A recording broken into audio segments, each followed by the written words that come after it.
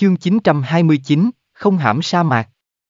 Đối với trong bóng tối lão tổ, Lý Thất Dạ nở nụ cười, nói ra, đúng, ta chính là nhân tộc, điểm này không có cách nào cải biến, ta cũng không cần cải biến.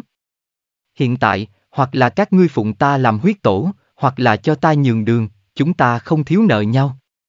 Đừng tưởng rằng các ngươi trốn ở trong tối rục trịch cho là ta không biết. Xin ngươi tìm từ khách khí một điểm.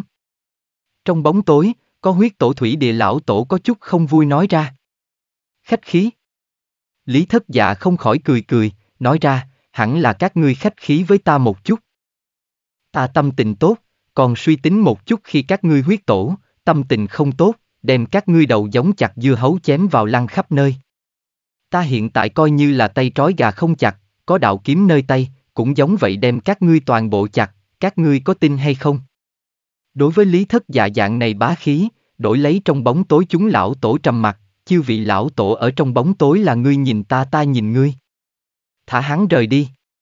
Ở thời điểm này, huyết tổ tứ thương nữ đã đạt thành nhất trí, thu thương nữ chậm rãi nói ra. Trong bóng tối lão tổ trầm mặt một chút, rốt cục có lão tổ mở miệng. Nói với Lý Thất Dạ, tôn giá nếu là nguyện ý lưu lại, chúng ta huyết tổ thủy địa hoan nghênh vô cùng, tôn giá nghĩ lưu lại bao lâu đều có thể. Còn tôn giá đảm nhiệm huyết tổ sự tình, chúng ta nhất định phải lại thương nghị một chút, chúng ta hy vọng đều có một cái thập toàn thập mỹ biện pháp. Lúc này, huyết tổ thủy địa chư vị lão tổ khách khí với lý thất dạ rất nhiều, không còn dám khinh thường. Cũng tốt, vậy các ngươi liền cùng huyết ngưu thần ma lão đầu kia hảo hảo thương lượng một chút đi. Xem ra các ngươi một đám lão đầu là không quyết định chắc chắn được. Lý thất dạ cười nhạt một tiếng nói ra. Tôn giá là cái này.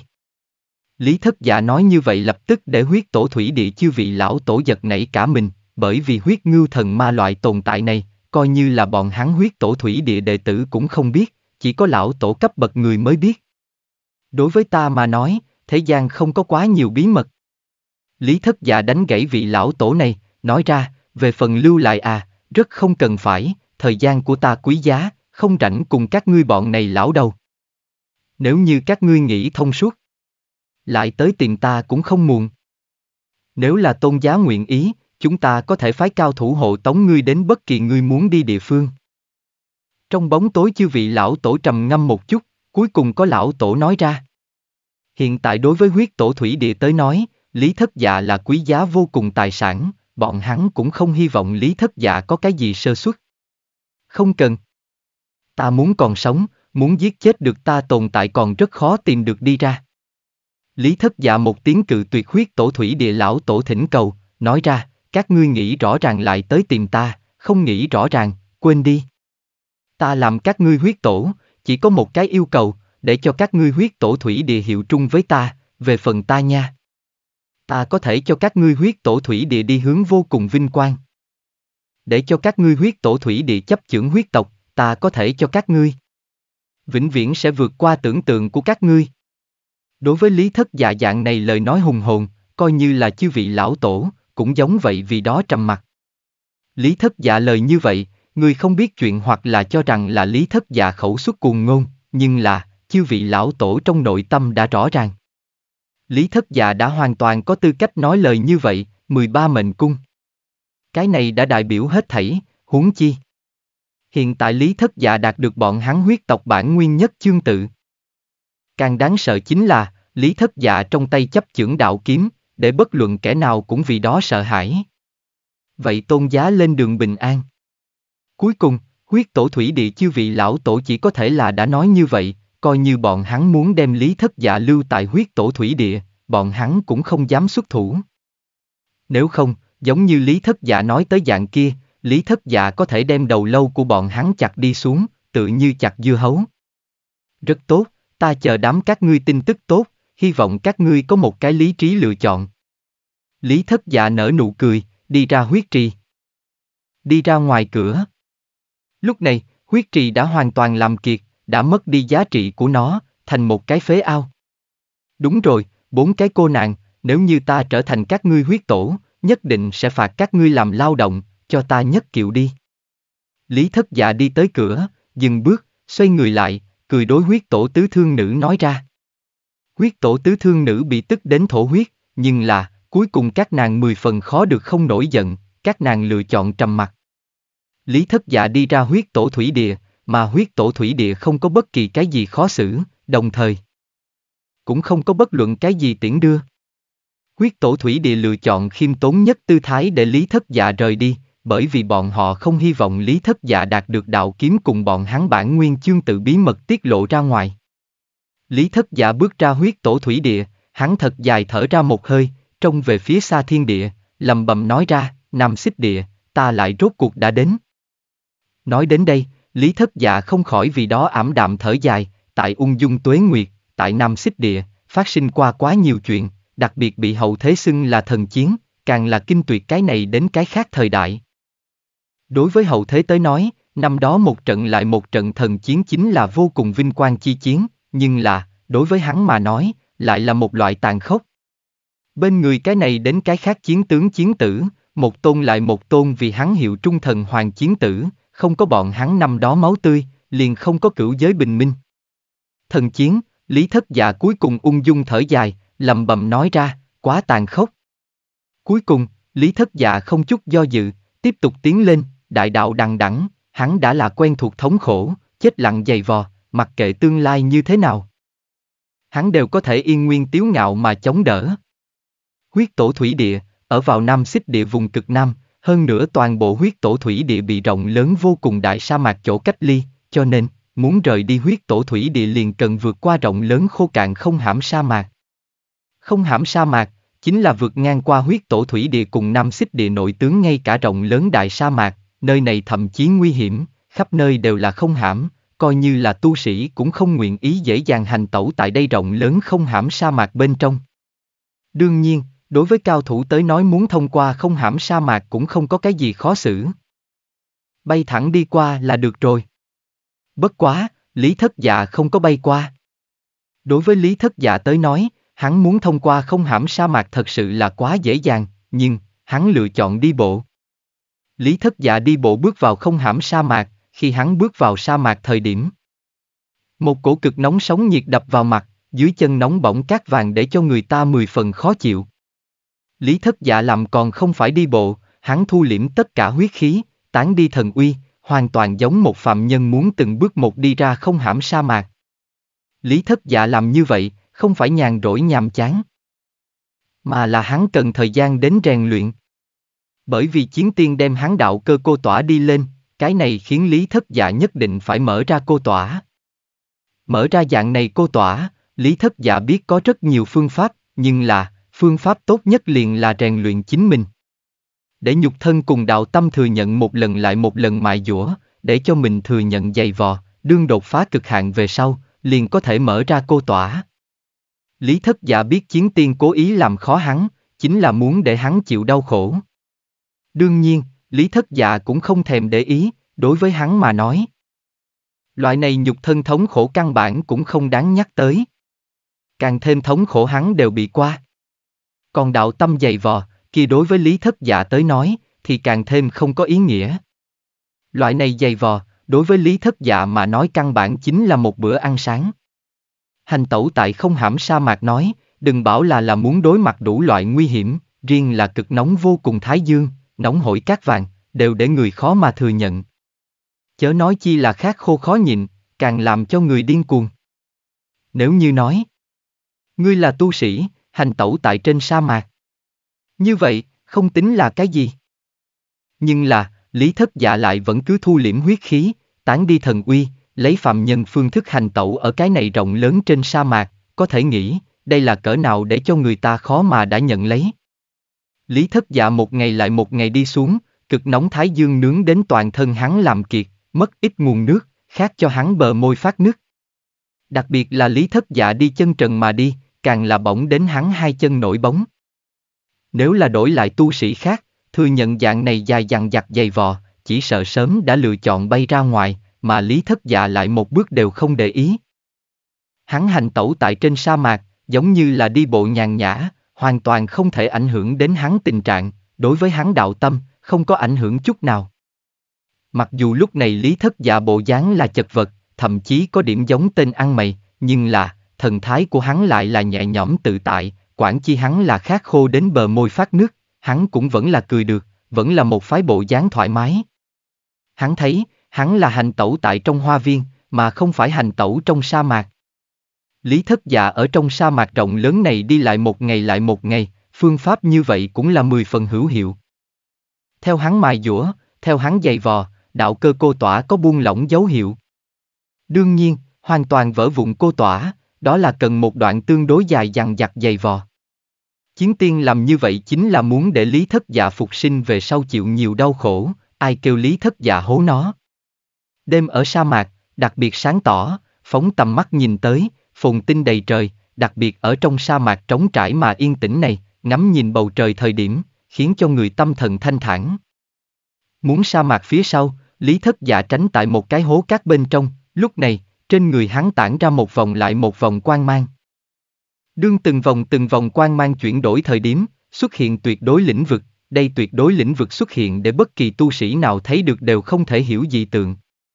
Tiên thể lĩnh vực Đây là một cái kinh thiên bí mật, chỉ sợ thế gian biết tiên thể lĩnh vực tồn tại đó là lác đác không có mấy.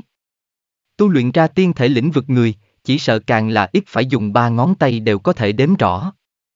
Tiên thể lĩnh vực, đây là một cái kinh thế bí mật, đây cũng là thể thư tẩn tàng lấy một cái khác bí mật. Đương hai cái tiên thể tu luyện đến trung thành tiên thể về sau. Liền sẽ xuất hiện tiên thể tuyệt đối lĩnh vực.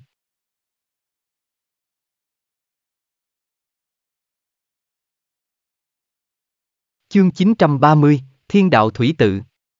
Đương tu luyện hai loại tiên thể về sau, nếu như ngươi thông qua được thọ suy, như vậy, ngươi liền có thể tu luyện tiên thể lĩnh vực. Bởi vì đã vượt qua thọ suy về sau, ngươi có đầy đủ cường đại huyết khí, có đầy đủ cường đại thọ huyết đến duy trì tiên thể lĩnh vực. Vạn cổ đến nay, thế nhân đều cho rằng một cái tu sĩ không có khả năng tu luyện hai loại tiên thể, trên thực tế là có thể. Đương nhiên, cũng chỉ có lý thất dạ loại tồn tại này, mới có thể hao tốn vô số tâm huyết, vô số tuế nguyệt sáng chế, vạn thể nhất niệm dạng này công pháp nghịch thiên. Lúc này, Lý thất dạ trước ngực chính là hào quang rực rỡ, bốn cái thể phách hiển hiện, trấn ngục thần thể, phi tiên thể, vô cấu thể, phá khung phủ thể, bọn chúng là hai hai đối xứng lấy. Đương hai loại thể phách tương hỗ đối xứng thời điểm, liền sẽ sinh ra một cái tuyệt đối lĩnh vực, loại này tuyệt lĩnh xưng là tiên thể lĩnh vực.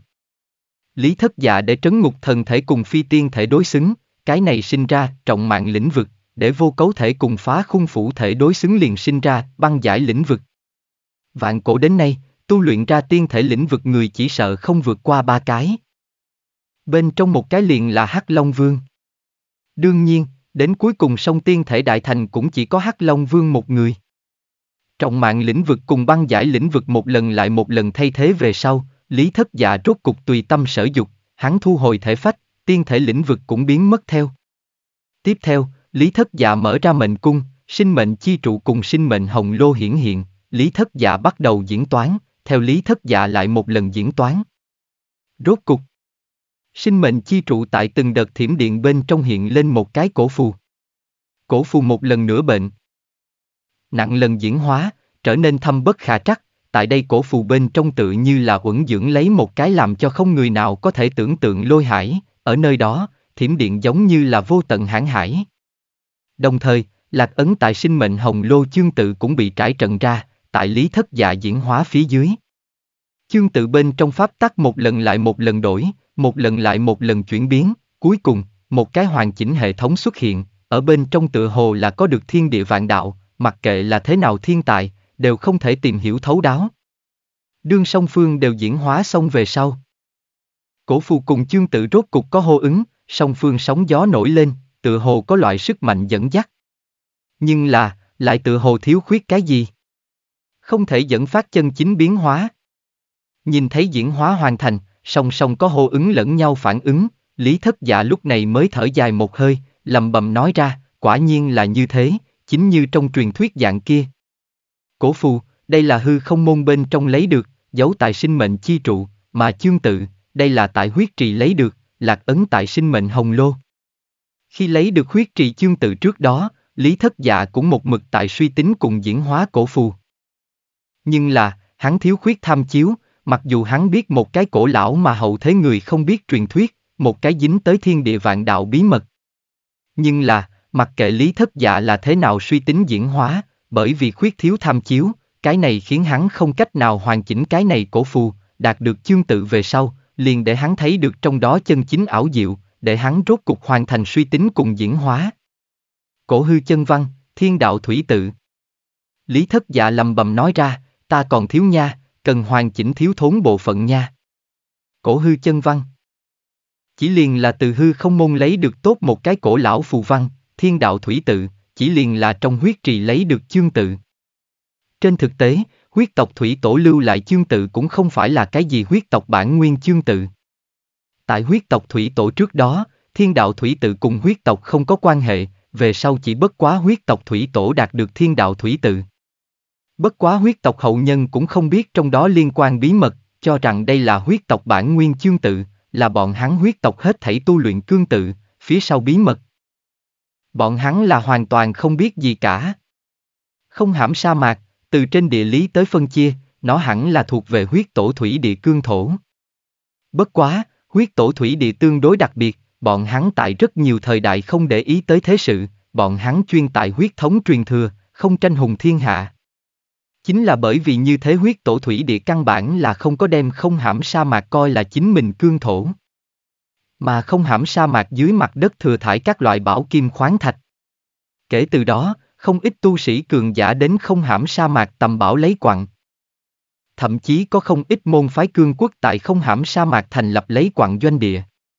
Cứ việc nói không hãm sa mạc lấy quặng môn phái cùng tu sĩ không ít, dưới tình huống bình thường, có rất ít vì tranh giành mỏ mà dẫn phát ma sát đột phá.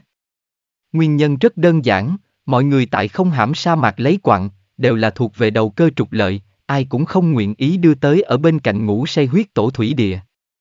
Lý thất dạ lại đi lại tu, hắn một đường lặn lội đường xa, đặt chân cát vàng, đỉnh đầu mặt trời, từng bước từng bước ra bên ngoài mà đi, tại khốc nhiệt khát khô các loại cực khổ ma luyện phía dưới. Đạo cơ cô tỏa là càng ngày càng buông lỏng. Lý thất dạ cứ như vậy giống một phàm nhân hành tẩu tại không hãm sa mạc, rèn luyện lấy thân thể của mình, khiêu chiến lấy thân thể của mình tại bình thường trạng thái dưới cực hạn, có thể nói, tại bình thường trạng thái phía dưới, tại không hãm sa mạc dạng này ác liệt dưới điều kiện, đây tuyệt đối là đột phá cực hạn vô cùng tốt khiêu chiến hoàn cảnh. Lý thất dạ tại cuồng cuộn cát vàng bên trong hành tẩu, tại đây một đường trên đường đã từng gặp được không ít tu sĩ, có phi thiên mà đi, có bước nhanh mà đi, cũng có ngự bảo vật mà bay. Những này xuất hiện tại không hãm sa mạc tu sĩ, có độc lai độc vãng người, cũng có thành quần kết đội ban phái đệ tử, cái này quản những tu sĩ này là mạnh là yếu, những tu sĩ này đều là đến vậy vội vàng, đi cũng vội vàng, căn bản cũng không có nhìn nhiều lý thất dạ một chút. Lúc này lý thất dạ, một thân áo vải, chân trần mà đi, bộ dáng chật vật, đặc biệt là hắn huyết khí như có như không, càng là không thần uy tràn ngập, để cho người ta vừa nhìn liền biết đây là một người bình thường mà thôi. Tại tu sĩ trong mắt, dạng này người bình thường đó là tự như sâu kiến, không có bao nhiêu người nguyện ý đi nhìn nhiều dạng này một con kiến hôi. Chớ nói chi là tại dạng này một con kiến hôi trên người lãng phí thời gian.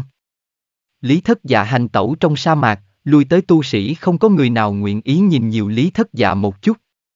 Bất quá, lui tới tu sĩ bên trong, chắc chắn sẽ có người tốt.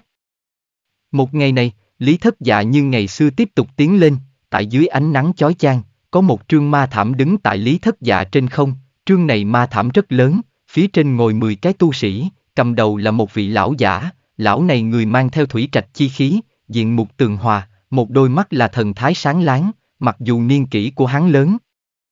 Nhưng là huyết khí yên nguyên hùng hậu, xem xét cũng làm người ta biết là một vị cường giả. Tiểu hỏa tử, lạc đường sao? Ma thảm đứng tại Lý Thất Dạ trên không, ngồi ở phía trước nhất lão giả nói với Lý Thất Dạ.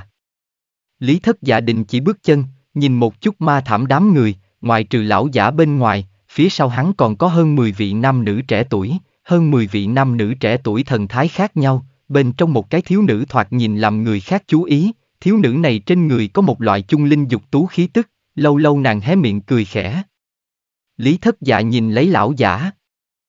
Nhẹ nhàng lắc đầu, cười nói ra, lão nhân gia, ngươi đã hiểu lầm, ta chỉ là trong sa mạc đi một chút mà thôi, ta nhận ra đường. Đại sa mạc, có cái gì tốt đi, cũng không phải cái gì phong cảnh danh thắng. Cái kia thân mang dục tú khí tức thiếu nữ hé miệng cười khẽ nói. Lý thất dạ nhìn lấy cái này hé miệng cười khẽ thiếu nữ cười nói ra, tiểu cô nương, ngươi cái này không hiểu, phong cảnh, không phải dùng mắt đến xem, chỉ có dụng tâm đến xem phong cảnh, đó mới là xinh đẹp. Khẩu khí không nhỏ, không biết trời cao đất rộng. Thiếu nữ này bên người một thanh niên nam tử hừ lạnh một tiếng. Người thanh niên này lớn lên anh Tuấn, hắn lạnh lùng nhìn Lý Thất Dạ một chút. Tại dạng này thanh niên nam tử xem ra, Lý Thất Dạ chẳng qua là một kẻ phàm nhân mà thôi, cũng dám xưng sư muội hắn vì tiểu cô nương, này làm sao không cho hắn tức giận chứ? Hắn thấy, Lý Thất Dạ dạng này phàm nhân đơn giản liền là không biết trời cao đất rộng. A Bảo, lão giả nhẹ nhàng bày tay, ngăn lại thanh niên, nhẹ nhàng lắc đầu nói ra, tên tiểu tử này nói tới cũng không phải là không có đạo lý, có nhiều thứ đích thật là cần tâm đến cảm thụ. Đối với lão giả này thái độ, Lý Thất Dạ cười cười. Nói ra, các ngươi tới đào quán sao? Cũng coi là đi. Lão giả bình dị gần gũi, nói ra, chúng ta Tô Hàn Quốc tại đây không hãm sa mạc có một khối mỏ quán, lão phu vừa vặn mang người trẻ tuổi đi ra đi một chút, tăng một chút kiến thức. Ừm, cái này cũng không có chỗ xấu, không hãm sa mạc mặc dù nguy hiểm, nhưng cũng không trở thành muốn tính mạng của bọn hắn, đây là một cái ma luyện nơi tốt. Lý thất dạ nhẹ gật đầu nói ra. Lão giả này chính là Tô Hàn Quốc hoàng chủ, hắn tên là Y Xuyên. Nghe được Lý thất dạ lời như vậy, Y Xuyên cũng không khỏi cẩn thận nhìn Lý thất dạ một lần. Mặc dù lúc này Lý thất dạ bộ dáng chật vật, thậm chí thoạt nhìn như là tên ăn mày, nhưng là, thần thái của hắn lại là dạng kia thông dong, dạng kia tự tại, quản chi là ô đầu cấu mặt cũng không thể ảnh hưởng hắn mảy may. Nhìn trước mắt người thanh niên này, Y Xuyên có một loại ảo giác, tự như người thanh niên này không phải hành tẩu tại trên sa mạc, mà là hành tẩu tại chính mình nhà hậu hoa viên. Một kẻ phạm nhân, biết như thế nào ma luyện. Cái kia gọi A Bảo thanh niên lạnh lùng hừ một cái, Lý Thất Dạ nói như vậy để trong lòng của hắn không thoải mái, hắn thấy, Lý Thất Dạ cái này thật sự là quá khinh thường. Hắn một kẻ phàm nhân mà vậy, nói đến giống như chính mình là cao thủ. A Bảo có dạng này tâm tính cũng không đủ là lạ, đối mặt phàm nhân, không coi như làm sâu kiến, cái kia đã là rất tốt. Lý Thất Dạ không có đem hắn lời nói để ở trong lòng, nhẹ nhàng cười một cái. Mà Y Xuyên thì là hiếu kỳ, liền cười nói ra, nói như vậy, tiểu họa tử ngươi cũng là người trong đồng đạo rồi. Không biết từ sư môn nào. Cái này ngươi liền sẽ sai ý. Lý thất dạ cười nói ra, mọi người đàm bên trên không phải người trong đồng đạo, ta chỉ là tùy tiện nhặt được điểm công pháp, tùy tiện tu luyện một cái. Đại đạo lý nói đến đạo lý rõ ràng, còn tưởng rằng ngươi là danh sư xuất thân, nguyên lai cũng chỉ bất quá là trên giấy đàm tiếu mà thôi. A Bảo hừ lạnh một tiếng, hắn đối lý thất dạ không có địch ý, nhưng là, hắn không quen nhìn lý thất dạ khoác lác như vậy ra. A Bảo, không được vô lễ. Y xuyên ngăn lại thanh niên, nhẹ nhàng lắc đầu. Nhìn lấy lý thất dạ, nói ra, nói như vậy, tiểu hỏa tử ngươi là đến không hãm sa mạc tu luyện ma luyện.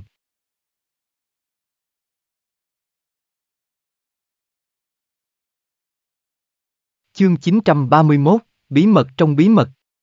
Lý thất dạ gật đầu một cái, nói ra, đây cũng là đi, vừa vặn đi ngang qua không hãm sa mạc, nơi này rất thích hợp ma luyện bản thân, liền đi vừa đi, ma luyện thân thể một cái. Tu đạo, tu chính là đạo cơ, nhục thân ma luyện để làm gì, coi như thân thể ngươi có mạnh mẽ hơn nữa, có thể mạnh đến mức qua binh khí sao? A Bảo kia có cùng Lý Thất Dạ cây kim đối lập ý tứ, hắn lạnh giọng nói. Lý Thất Dạ nhìn A Bảo một chút, cười cười, nói ra, nhục thân thống khổ, là trực tiếp nhất thống khổ, chỉ có thừa nhận hạ nhục thân thống khổ, mới có thể đàm thừa nhận nội tâm thống khổ. Ngay cả thống khổ đều không thể thừa nhận, lại nói thế nào đạo tâm? Đạo tâm, mới là tu đạo căn bản. Không tầm thường, nghe được Lý Thất Dạ lời như vậy, Y Xuyên cũng không khỏi khen một tiếng, nói ra, tiểu hữu tuổi còn trẻ, lại không phải xuất thân danh môn, lại có như thế minh ngộ, thật sự là không tầm thường. Một câu đạo tâm, mới là tu đạo căn bản để cho người ta thể hồ quán đỉnh, tự như là thần chung mộ cổ. Nói đến đây, y xuyên đối sau lưng đệ tử nói ra, các ngươi cũng cần phải nhiều học một ít vị đạo hữu này, ma luyện có rất nhiều loại, thừa nhận dày vò cũng là trong đó một loại. Đối với lý thất dạ loại này ma luyện có không ít đệ tử xem thường, bất quá, tại trưởng bối trước mặt, bọn hắn không dám nói gì. Theo bọn hắn nghĩ, giống lý thất dạ giống như vậy phàm nhân hành tẩu tại trên sa mạc, nói chuyện gì ma luyện, cái này hoàn toàn là phàm nhân khổ hạnh mà. Nói như vậy, ngươi là tại ma luyện đạo tâm của ngươi. Hé miệng cười khẽ thiếu nữ gọi Ali, cũng mang theo ba phần tò mò nhìn Lý Thất Dạ. Dưới cái nhìn của nàng, Lý Thất Dạ là một cái quái nhân. Kỳ quái quái. Không, Lý Thất Dạ nở nụ cười, nhẹ nhàng lắc đầu nói ra, ta chỉ là tùy tiện đi một chút mà thôi. Về phần đạo tâm của ta, không có cái gì tốt ma luyện, ta đạo tâm vững như bàn thạch, không thể lay động. Khẩu khí thật lớn, coi như là đại hiền cũng không dám nói mình đạo tâm không thể lay động, khoác lác cũng không làm bản nháp. A Bảo hừ lạnh một tiếng. Hắn thấy, Lý Thất Dạ nói như vậy hoàn toàn là khoác lác. Lý Thất Dạ luôn luôn có thể cùng không, chỉ là nở nụ cười, hắn cũng lười cùng A Bảo cấp bậc này tiểu hài tử so đo. Tiểu hữu, xin từ biệt, lão phu còn muốn dẫn bọn hắn đi ma luyện ma luyện. Y Xuyên cười một tiếng, hướng Lý Thất Dạ cáo từ, sau đó ngự lấy ma thảm bay lên không. Lý Thất Dạ nở nụ cười, tiếp tục tiến lên. Lý Thất Dạ hành tẩu trong sa mạc, ban ngày đỉnh lấy mặt trời mà đi. Ban đêm thì là tại lĩnh hội vô tận huyền diệu. Đối với Lý Thất Dạ tới nói, mà hắn cần lĩnh hội đồ vật nhiều lắm. Đặc biệt là vĩnh sinh chi chu còn có rất nhiều chi tiết cần hắn đi đến cấu trúc. Đồng thời, như cổ hư chân văn, thiên đạo thủy tự cũng là có rất nhiều đồ vật có thể lĩnh hội, giống như huyết tổ thủy địa lão tổ cho rằng dạng kia, trong này có thể tìm hiểu ra kinh thiên công pháp. Bất quá, Lý Thất Dạ cũng không có đem ý nghĩ đặt ở phương diện này bên trên. Hắn không nghĩ tới từ cổ hư chân văn, thiên đạo thủy tự tìm hiểu ra kinh thiên công pháp đến, bởi vì hắn đã có được đủ cường đại công pháp. Đối với Lý Thất Dạ mà nói, hắn càng muốn đem hơn cổ hư chân văn, thiên đạo thủy tự hoàn chỉnh cơ cấu, nhưng là, theo Lý Thất Dạ vô tận diễn hóa cùng suy tính, cái này khiến hắn có chút bất lực. Bởi vì hắn thiếu khuyết cái khác bộ phận, từ công pháp hoặc là tu luyện góc độ tới nói, cổ hư chân văn cùng thiên đạo thủy tự là hoàn chỉnh đại cương, có thể xưng bọn chúng vì một bộ hoàn chỉnh bí kíp. Nhưng là, đây không phải lý thất dạ cần có đồ vật. Hắn muốn đem cổ hư chân văn, thiên đạo thủy tự tương hỗ cơ cấu, dựng thành một cái hoàn chỉnh hệ thống. Nhưng là, cái này không có dễ dàng như vậy sự tình, bởi vì lý thất dạ bây giờ được chỉ là trong đó hai cái bộ phận mà thôi, còn lại bộ phận, hoàn toàn là không cách nào y theo cổ hư chân văn, thiên đạo thủy tự suy tính biến hóa ra. Trên thực tế, cái này không chỉ là lý thất dạ không thể, coi như bất luận kẻ nào đều không thể, tiên đế cũng không ngoại lệ. Cổ hư chân văn, thiên đạo thủy tự, trong này dính tới một cái kinh thiên bí mật, hơn nữa, vạn cổ đến nay, từ xưa tới nay chưa từng có ai có thể đem một cái chỉnh thể thu thập đủ. Thậm chí có thể nói, vạn cổ đến nay, chân chính biết cổ hư chân văn, thiên đạo thủy tự người là ít càng thêm ít, coi như là tiên đế đều không nhất định biết cái này truyền thuyết. Truyền thuyết nha. Cuối cùng, Lý Thất Dạ thu hồi cổ hư chân văn, thiên đạo thủy tự, không khỏi nhẹ nhàng thở dài một tiếng. Chính như trong truyền thuyết, nghĩ diễn hóa xuất hoàn chỉnh hệ thống, đó là so với lên trời còn khó hơn gấp trăm ngàn lần. Ken ken ken, lúc này, pháp tắc xen lẫn, đạo kiếm xuất hiện ở Lý Thất Dạ trong tay, đạo kiếm nơi tay, lập tức để Lý Thất Dạ có một loại cảm giác không tầm thường. Đạo kiếm Toàn thân đen như mực, không có kiếm phong sắc bén, cũng không có bức người hàng quan, dạng này một thanh kiếm, coi như là ném xuống đất, chỉ sợ cũng chưa chắc có tu sĩ nguyện ý đi nhặt lên. Lý thất dạ nhẹ vỗ về lưỡi kiếm, nói cho đúng đến, đạo kiếm lưỡi kiếm rất cùng, căn bản không sắc bén. Lý thất dạ khẽ vuốt lưỡi kiếm, dĩ nhiên không phải đi cảm thụ lưỡi kiếm phải chăng sắc bén, mà là cảm thụ được cái này pháp tắc lực lượng, một loại thiên địa hồn nhiên cảm thụ, đương cùng kiếm này cộng hưởng thời điểm, cũng làm người ta cảm thấy vạn đạo nơi tay, hết thảy pháp tắc đều tại chấp chưởng bên trong. Khi ngươi chấp chưởng kiếm này thời điểm, ngươi liền sẽ cảm giác mình là hết thảy chúa tể, vô thượng đại đạo, tất cả đều nằm trong lòng bàn tay.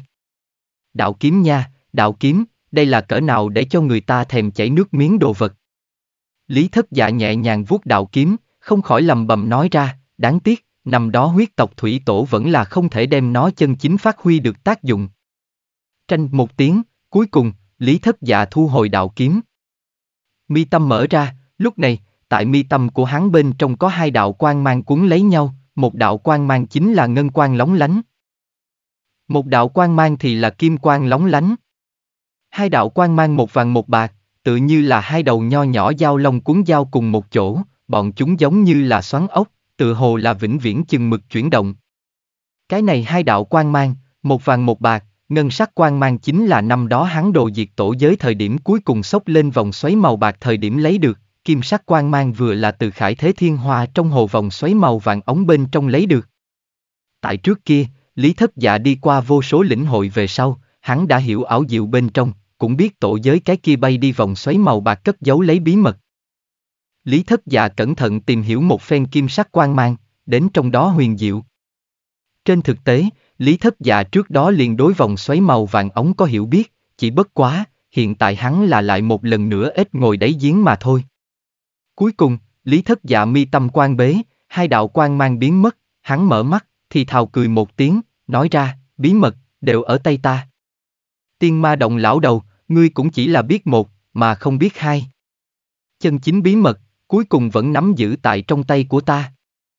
Nói đến đây, Lý Thất Dạ nhìn ra xa thiên khung, lầm bầm nói ra, một ngày nào đó. Ta sẽ trở lại. Chư đế lại như thế nào, chúng thần lại như thế nào? Quản chi là thương thiên, ta cũng giống vậy sẽ đồ sát rơi.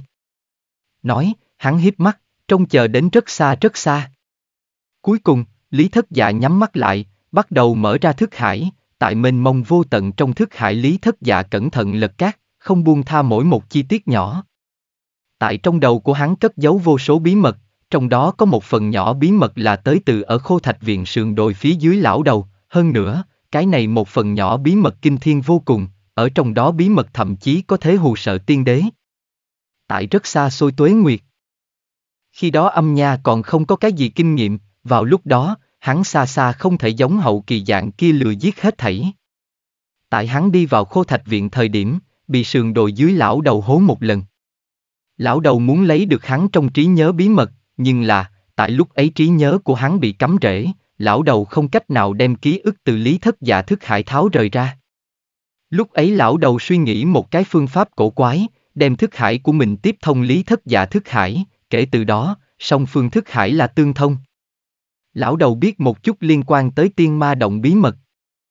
Cũng biết một chút lý thất dạ kiến thức, mà lý thất dạ cũng tiếp thu lão đầu thức hải bên trong bí mật.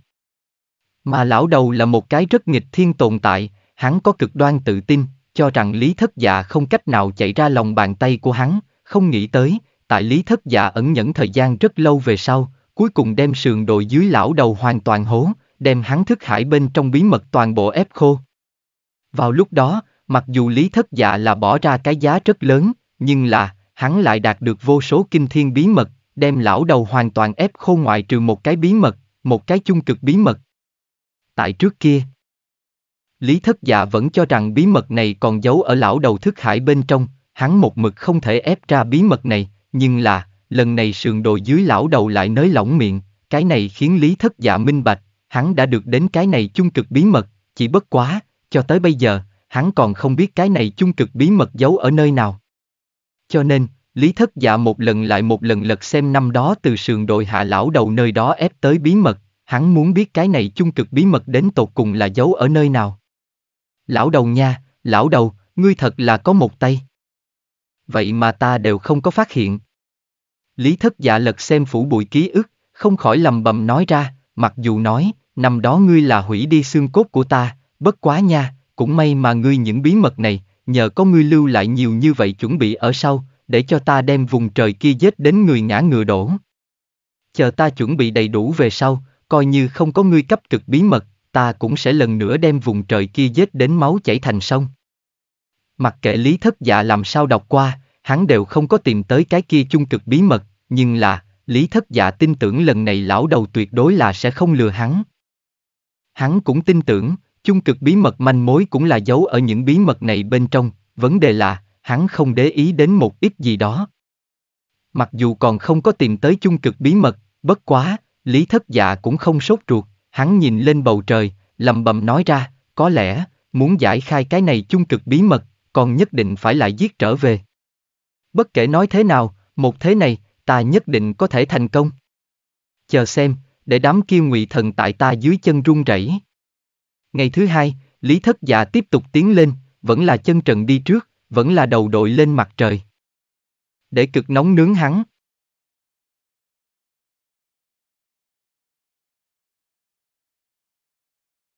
Chương 932, Tô Hàn Quốc Y Xuyên Lý Thất Dạ tại không hãm sa mạc bên trong hành tẩu thời gian rất dài, hắn cũng không sốt ruột, từng bước một đi lên phía trước. Đối với người khác mà nói, dạng này chân trần mà đi, là một loại tra tấn, đối với Lý Thất Dạ tới nói ngược lại là một loại hưởng thụ, ở chỗ này, hắn buông ra hết thảy, vô câu vô thúc. Đối với Lý Thất Dạ tới nói, hiện tại hắn muốn làm chính là đi ra không hãm sa mạc, ngoại trừ cái này một mục tiêu bên ngoài, tự hồ hết thảy tất cả sự tình đều bị ném sau óc. Tiểu hữu, chúng ta lại gặp mặt. Lý Thất Dạ tiếp tục hành tẩu tại không hãm sa mạc bên trong. Một ngày này, một trương ma thảm lại một lần nữa xuất hiện ở Lý Thất Dạ trên đỉnh đầu, phía trên chính là y xuyên bọn hắn. Lý Thất Dạ nhìn một chút y xuyên bọn hắn, cười nói ra, xem ra các ngươi này trình thu hoạch không nhỏ. Không hề nghi ngờ, so sánh với lần trước gặp mặt, lúc này y xuyên phía sau hắn 10 cái vãn bối tinh thần càng thêm sung mãn, bọn hắn là đạt được nhất định ma luyện. Chúng ta là đạt được không ít khoáng thạch. Ali nhẹ nhàng hé miệng cười một tiếng, có mấy phần vọt tước, theo như lời nói bật thốt lên liền ra. Ali, chớ nhiều lời, bảo vật không thể lộ ra ngoài. Để tránh nhận người đỏ mắt. Làm sư huynh A Bảo vội nhắc nhở sư muội của mình. Theo A Bảo, Lý Thất Dạ chẳng qua là ngoại nhân mà thôi, chuyện như vậy đương nhiên không thể cùng ngoại nhân nói, này lại cho bọn hắn đưa tới phiền toái không cần thiết. Lý Thất Dạ nở nụ cười, không nghe thấy A Bảo, nói với Ali, thu hoạch. Chỉ là đạo tâm của các ngươi. Tinh thần của các ngươi. So sánh với những thu hoạch này đến, khoáng thạch, cái kia bất quá là vật ngoài thân mà thôi. Bảo vật, về sau có rất nhiều cơ hội, nhưng là, đạo tâm tu luyện, cái kia không chỉ là một cái quá trình, thường thường nhiều khi là bởi vì duyên sẽ tế. Dạng này thu hoạch, không phải tùy thời đều có thể có. Tiểu hữu dạng này một lời nói thật sự là khắc sâu. Nghe Lý Thất Dạ lời như vậy, Y Xuyên cũng không khỏi vì đó tán thưởng một tiếng, hắn nhìn lấy Lý Thất Dạ, có đôi khi hắn cũng không khỏi có chút hoài nghi, nói như vậy giống như là một người trẻ tuổi nói tới sao. Nghe là bảo kinh phong sương, đã trải qua vô số ma luyện. Thuận miệng mà thôi. Lý Thất Dạ cười cười, cũng không có tự đắc, đối với hắn mà nói, chỉ là rất bình thường lợi nói mà thôi. Lý luận suông. A Bảo hừ nhẹ một tiếng. Hắn đối Lý Thất Dạ bất mãn. Mặc kệ Lý Thất Dạ nói cái gì. Trong lòng của hắn đều đối Lý Thất Dạ có thành kiến. Tiểu hữu còn tiếp tục ma luyện. Có muốn hay không ta mang hộ ngươi đoạn đường? Y Xuyên cười nói với Lý Thất Dạ. Lý Thất Dạ nhìn một chút phía trước, nở nụ cười, nhẹ nhàng lắc đầu, nói ra, không cần, ta cũng mau rời khỏi không hãm sa mạc, đến nơi đến chốn, sau cùng một đoạn lộ trình cũng không xa, liền để ta đi ra ngoài đi. Không tầm thường.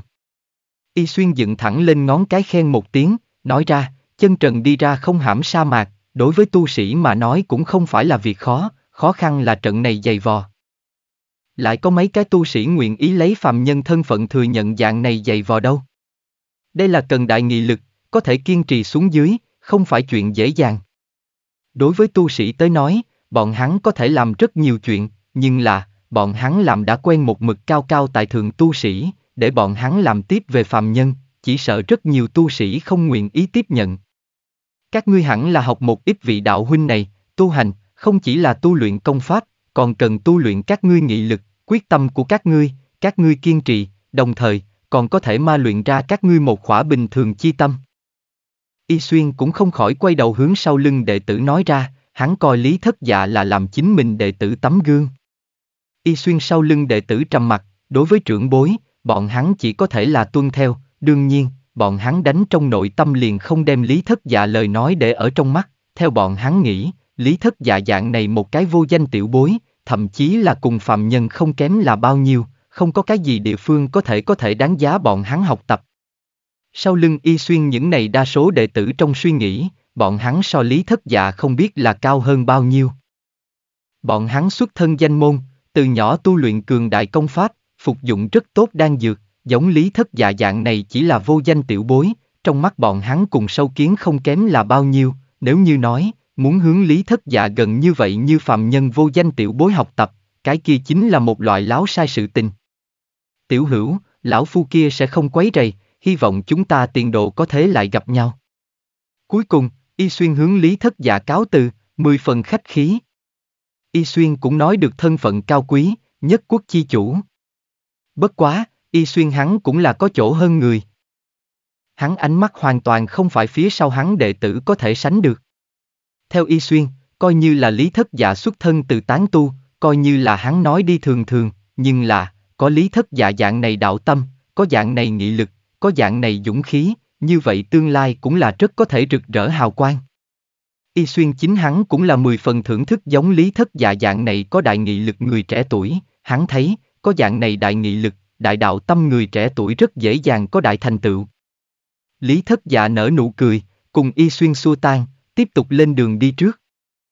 Lý thất dạ đi lại rất nhiều thời gian về sau, hắn rốt cục đi ra không hãm sa mạc, đường đi ra không hãm sa mạc thời điểm, một cổ đầm nước khí tức đập vào mặt. Đi ra sa mạc, trước mắt phiến là một mảnh thủy trạch chi hương, chỉ gặp ở chỗ này là núi xanh ẩn ẩn, giang hà vần quanh, buồm ảnh chỉ chỉ, mái chèo đảng tiếng nước, từng tiếng lọc vào tai, tại lăng tăng ba quan phía dưới, phì ngư vọt nước, cò chim lướt hồ, tại giang hà hai bên bờ càng là khói xanh lượn lờ, tự như thế ngoại đào nguyên. Phía sau là sa mạc, phía trước là vùng sông nước, cái này hoàn toàn là hai thế giới khiến người ta cảm thấy là từ một cái cằn cỗi thế giới đi vào bức tranh bên trong giàu có thế giới. Bất kể là ai, đi đến nơi này, đều có một loại tâm thần buông lỏng cảm giác, cảm giác mình hành tẩu tại thế ngoại đào nguyên. Giang Nam Thủy Hương, Nam Cương Chi Địa Nha. Đi ra sa mạc, đi vào mảnh này thủy trạch chi hương, Lý Thất Dạ không khỏi cảm khái thở dài một tiếng, nơi này thật là một phương hảo thủy, mỗi lần hắn đi ngang qua phiến thiên địa này thời điểm, đều thích trêu chọc lưu một đoạn thời gian. Lân cận huyết tổ thủy địa chính là không hãm sa mạc, mà lân cận không hãm sa mạc thì là Nam Cương chi địa. Một mảnh thủy trạch chi hương. Đi tới nơi này dạng địa phương, rất nhiều người đều cảm thán tạo hóa chủ thần kỳ, vùng sông nước cùng sa mạc chỉ là cách nhau một đường, thật sự là để cho người ta khó mà tin tưởng. Nam xích địa là 10 phần rộng lớn, có thể nói là đất rộng vật đông, hơn nữa toàn bộ Nam xích địa cũng là thổ ốc thủy phi, khiến cho toàn bộ Nam Xích địa khắp nơi là vùng đất phì nhiêu, mà tại toàn bộ Nam Xích địa trung thổ nước nhất là phì nhiêu địa phương liền là vùng cực Nam. Tại dạng này vùng cực Nam địa phương, cũng có người xưng là Nam Cương Chi Địa. Cũng có người xưng là Nam Đường Chi Cảnh.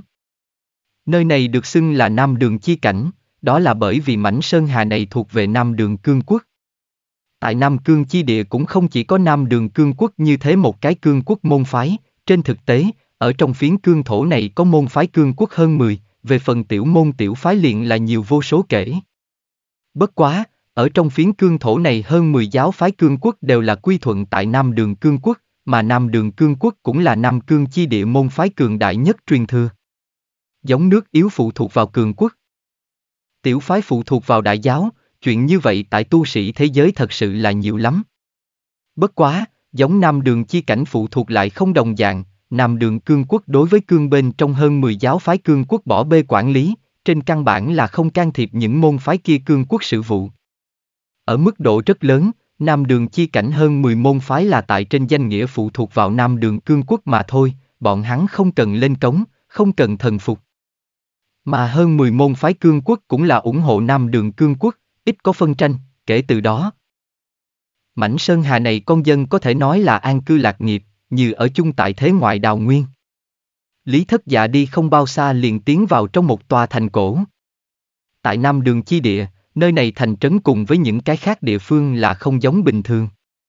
Ở chỗ này, không có cao ngất thành trì, không có rộng lớn đại đạo, không có trang nghiêm kiến trúc, ở trong cả tòa cổ thành này, chính là dòng sông vần quanh, từng đầu nước sông là bốn phương thông suốt, quán xuyên cả tòa cổ thành mỗi một cái nơi hẻo lánh. Tại dạng này một tòa cổ thành, chỉ cần ngươi ngồi lên một chiếc thuyền con. Ngươi liền có thể đi đến trong thành bất kỳ chỗ nào. Hơn nữa, trong thành này, không chỉ là dòng sông bốn phương thông suốt, đồng thời tại trong thành có rất nhiều tham gia đến to lớn, có thể nói, ở chỗ này, khắp nơi là bóng cây xanh râm mát, ở chỗ này, khắp nơi là nước chảy, cho người ta một loại cầu nhỏ lưu thủy nhân gia cảm giác. Lý thất giả bộ dáng chật vật, thậm chí có thể nói là đầu bù cấu mặt, nhưng là, hắn như thế một cái thoạt nhìn giống phạm nhân bộ dáng người đi ở trong một tòa thành cổ như vậy không có chút nào làm người khác chú ý, nhiều nhất mọi người là coi hắn là làm một cái tên ăn mày mà thôi. Giống lý thất dạ dạng này một phen bộ dáng, tu sĩ là sẽ không nhìn nhiều hắn một chút, chỉ có từ bên cạnh hắn trải qua phạm nhân sẽ ném cho hắn ba năm cái đồng tệ. Cho nên, lý thất dạ đi không bao xa, liền nhận được không ít đồng tệ, nguyên nhân rất đơn giản, nơi này là đất lành, an cư lạc nghiệp, phạm nhân đều là trôi qua khá là giàu có, đối với lý thất dạ dạng này một cái tên ăn mày, phàm nhân cũng là cam tâm tình nguyện bố thí. Nhìn một chút trong tay đồng tệ, lý thất dạ cũng không khỏi cười một tiếng, cũng liền tiện tay đem đồng tệ thu lại. Tiểu hữu, tiến đến uống rượu một ly như thế nào? Đương lý thất dạ trải qua một gốc đại thụ che trời thời điểm. Một cái thanh âm quen thuộc vang lên. Cái này khỏa đại thụ che trời là sinh trưởng tại bờ sông, dưới tàn cây trúc có một tòa tinh xảo tiệm rượu, vừa nhìn liền biết không phải người bình thường có thể tới ăn uống địa phương. Lúc này, tại đây tiệm rượu sát đường vị trí có ngồi hơn 10 tu sĩ, cái này hơn 10 tu sĩ có thể được xưng là lý thất dạ người quen biết cũ, bọn hắn chính là y xuyên một đoàn người. Lúc này, y xuyên tay nâng chén rượu, hướng lý thất dạ chào hỏi, mười phần khách khí. Lý thất dạ nhìn một chút y xuyên, nở nụ cười, sải bước đi đi vào, đại mã kim đao hướng y xuyên trước mặt ngồi xuống. Cái này khiến ngồi ở y xuyên bên cạnh đệ tử không thể không chuyển ra không vị tới. Gặp Lý Thất Dạ tại chính mình hoàng chủ trước mặt như thế khinh thường, có chút đệ tử trong nội tâm bất mãn, mà y xuyên cũng không trách móc, hắn là mười phần thưởng thức người trẻ tuổi trước mắt này. Cung kính không bằng tuân mệnh. Lý Thất Dạ đại mã kim đao ngồi xuống về sau, vừa cười vừa nói. Lúc này Lý Thất Dạ cái kia đầu bù cấu mặt bộ dáng cùng hắn loại này đại mã kim đao thần thái không hợp nhau, nhưng là, cứ như vậy không hợp nhau xuất hiện trên người Lý Thất Dạ, lại có là như vậy chuyện đương nhiên.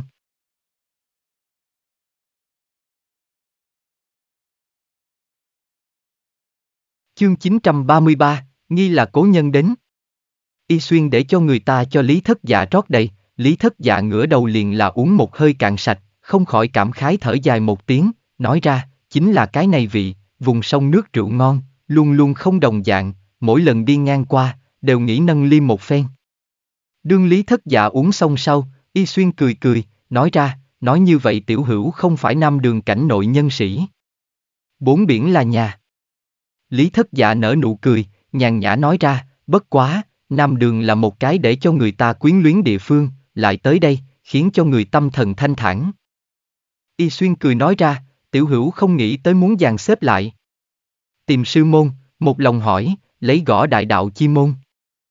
Nói như vậy, ngươi là muốn thu ta làm đồ đệ rồi. Lý thất dạ đặt chén rượu xuống, nở nụ cười, nhìn lấy y xuyên nói ra. Hừ, tại trước mặt bệ hạ chớ có hành vi phóng túng.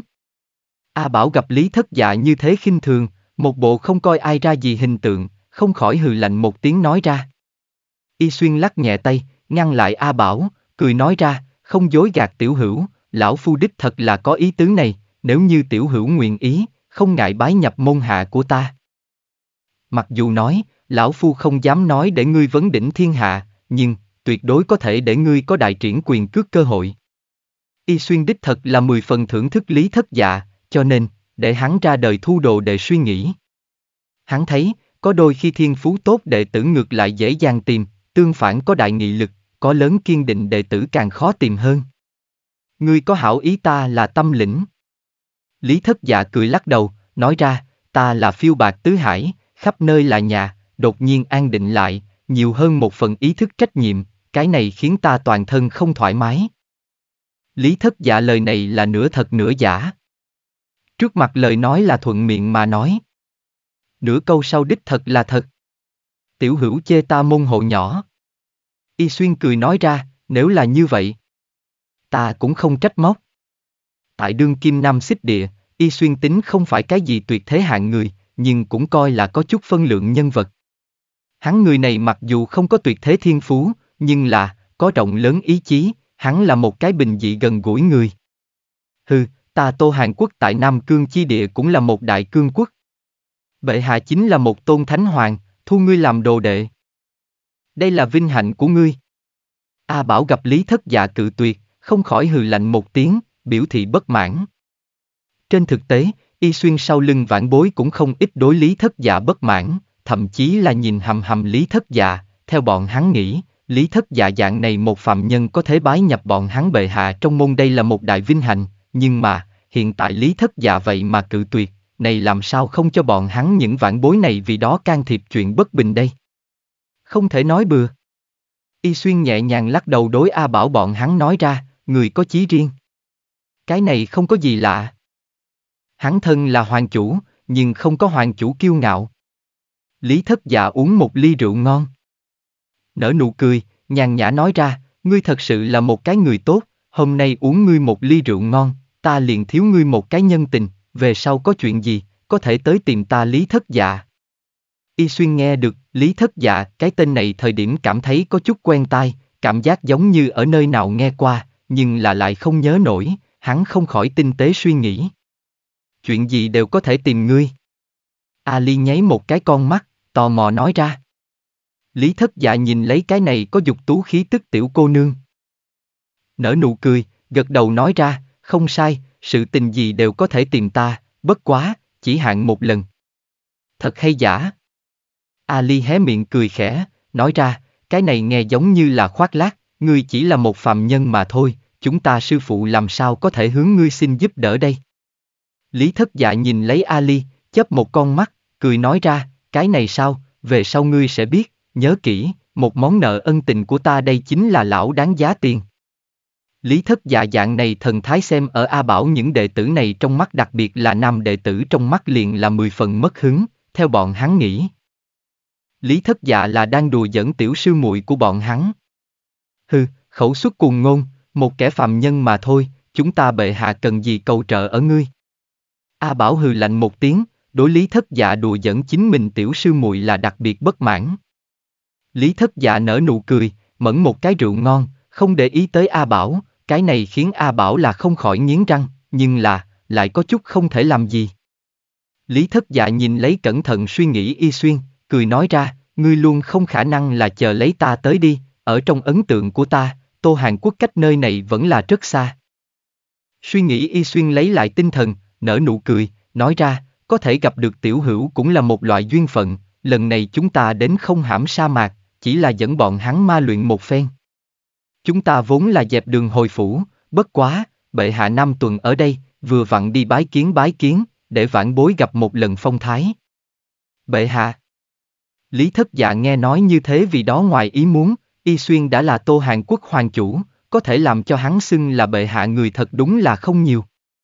Y Xuyên vội nói ra, sơ vân bệ hạ, cũng là Nam Đường Chi Cảnh Đại Tông Chủ. Tại Nam Đường Chi Cảnh, tất cả mọi người tôn nàng vì bệ hạ, nàng cũng là chúng ta Nam Đường kiêu ngạo.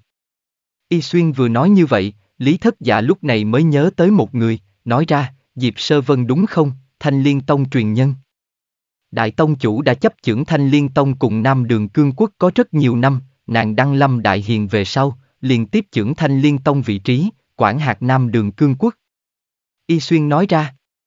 Lý Thất Dạ lúc này nhớ tới người này, Diệp Sơ Vân, năm đó ở Thiên Đạo Viện thời điểm, nàng vẫn là một cái cô nương gia, lúc ấy nàng theo băng nữ hạ mà đến, hắn còn từng mang nàng đi qua thế giới thụ. Trong nháy mắt, đã nhiều năm như vậy, nàng đều đã là thanh liên tông đại tông chủ, nam đường cương quốc hoàng chủ, có thể nói là tập giáo quyền cùng hoàng quyền vì một thân. Thanh liên tông có thể được xưng là đế thống tiên môn, bọn hắn thủy tổ cùng yếm vật tiên đế có lớn lao quan hệ, hơn nữa, bọn hắn thanh liên tông cũng đã nhận được yếm vật tiên đế một bộ phận truyền thư. Thanh Liên Tông còn xây Nam Đường Cương Quốc, quản hạt lấy lớn như vậy Nam Cương chi địa. Thanh Liên Tông bản thân thụ yếm vật tiên đế ảnh hưởng, đối thế sự không thích xen vào, cho nên mới sẽ thành lập Nam Đường Cương Quốc. Lấy người quản lý chuyện thế tục. Nói tới Diệp Sơ Vân, y xuyên sau lưng đệ tử cũng không khỏi vì đó hướng tới, đối với bọn hắn tới nói, có thể nhìn thấy Đại Tông Chủ là một phần lớn lao vinh hạnh. Sơ Vân cô nương là muốn tới nơi này. Lý thất dạ thuận miệng hỏi. Nếu như Diệp Sơ Vân tới nơi này, hắn cũng đúng lúc có một việc nâng ở nàng. Bệ hạ là năm tuần ở đây, nàng chấp chưởng nam đường sự vụ về sau, cách mỗi mấy năm liền sẽ dò xét một lần, để giải nam đường cảnh nội các cương quốc giữa các môn phái tranh chấp. Lần này bệ hạ vừa vặn đi ngang qua, vùng này rất nhiều chưởng môn. Hoàng chủ vì nàng bày tiệc mời khách, chúng ta cũng đúng lúc ở đây, mang vãn bối đi gặp một lần bệ hạ phong thái. Y Xuyên vừa cười vừa nói. Về phần A Bảo, A Ly những đệ tử này, nghe được có thể gặp đại tông chủ phong thái, đương nhiên là hướng tới. Nơi nào có thể nhìn thấy nàng đâu? Lý thất dạ trong lòng có một cái ý nghĩ, liền thuận miệng hỏi nói. Hừ, Lý thất dạ vừa nói như vậy, A Bảo liền bất mãn, nói ra, đại tông chủ chính là chúng ta nam đường chi chủ, cao quý vô thượng, chỗ nào là ngươi muốn gặp thì gặp. A Bảo, không được mất lễ. Y Xuyên vội khoát tay áo. Nói ra, chư vị trưởng môn hoàng chủ tại thủy tạ viên vì bệ hạ bày tiệc mời khách, nghe tin tức nói, bệ hạ hẳn là hôm nay có thể đến. Tiểu hữu cũng muốn gặp gặp một lần bệ hạ. Lý thất dạ nở nụ cười, không nhiều lời cái gì. Mà Ali liền nhẹ nhàng hé miệng mà cười, nói ra, ngươi muốn gặp bệ hạ cũng là có thể hiểu được, tại chúng ta Nam Đường, người người đều nói bệ hạ là mỹ mạo vô song, bệ hạ không chỉ là đã đạo trèo lên đại hiền, hơn nữa nàng lại tuổi trẻ lại xinh đẹp, tại chúng ta Nam Đường, không biết bao nhiêu tuổi trẻ thiên tài vì bệ hạ thần hồn khuynh đảo đâu. Nếu như ngươi có thể gặp bệ hạ, nói không chừng sẽ bị bệ hạ mỹ mạo mà mê hoặc. Đối với Ali dạng này ngây thơ, Lý Thất Dạ không khỏi nở nụ cười, nhẹ nhàng lắc đầu nói ra, tiểu cô nương, lời này của ngươi liền nói sai, có thể mê được ta nữ nhân, chỉ sợ là lát đác không có mấy. Thiết, ta bảo mấy cái trẻ tuổi nam đệ tử là liếc Lý Thất Dạ một chút, đặc biệt là A Bảo, có chút khinh thường nói ra, không có nữ hài tử mê được ngươi. Đó là bởi vì ngươi chưa thấy qua xinh đẹp nữ hài tử đi. Hừ, nếu là nhìn thấy xinh đẹp nữ hài tử, ngươi còn không phải như vậy thần hồn điên đảo. Nếu là ngươi thấy bệ hạ, chỉ sợ ngươi là hồn cũng phi. A Bảo, không thể nói bậy. Đối với giữa những người tuổi trẻ vấp miệng, Y Xuyên không khỏi cười khổ một cái, nhẹ nhàng lắc đầu, quát bảo ngưng lại A Bảo. Đối với A Bảo dạng này chế giễu, Lý Thất Dạ cũng không có để ở trong lòng, chỉ là uống một ly rượu ngon. Nhà, đây không phải y hoàng chủ sao?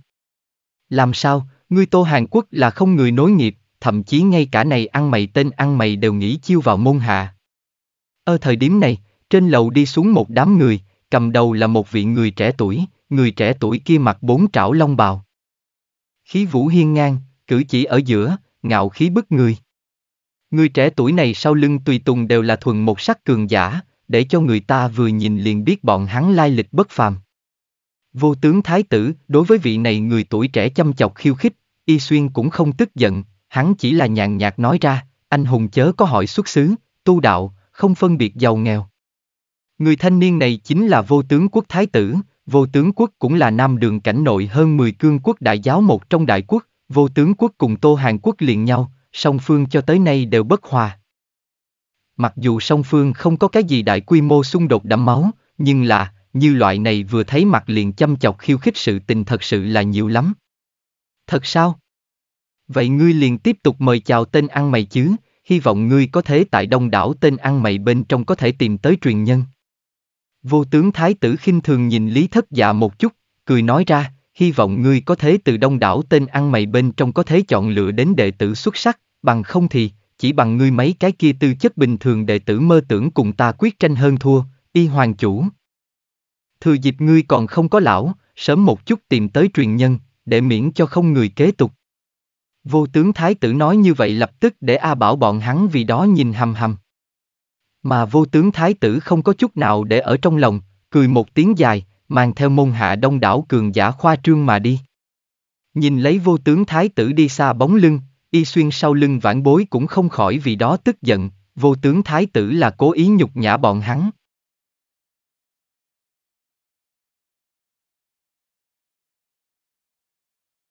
Chương 934, Thủy Tạ Viên Vô tướng thái tử đi xa về sau, A Bảo không khỏi cắn răng nghiến lợi nói ra, hừ, vô tướng thái tử khinh người quá đáng, bệ hạ dù sao cũng là cùng hắn phụ thân cùng thế hệ. Hừ, hắn không phải liền là đạt được kỳ ngộ uống bảo huyết, mới đè ép đại sư huynh một đầu nha, có gì đặc biệt hơn người, nếu không đạt được kỳ ngộ, hắn còn không thấy đến có thế mạnh hơn đại sư huynh đâu. Không cần tức giận. Y Xuyên nhẹ nhàng lắc đầu nói ra, chỉ cần ngươi đủ cường đại, ai cũng không dám chế giễu ngươi. Vô tướng thái tử nói tới cũng không phải không có lý.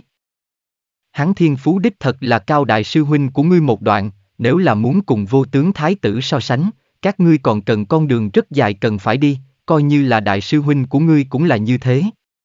Y xuyên người này thiên phú cũng không tuyệt thế, nhưng là, hắn là một cái người tinh mắt, có lòng dạ người, chính là bởi vì như thế, tại hắn trưởng quản phía dưới Tô Hàn Quốc là phát triển không ngừng.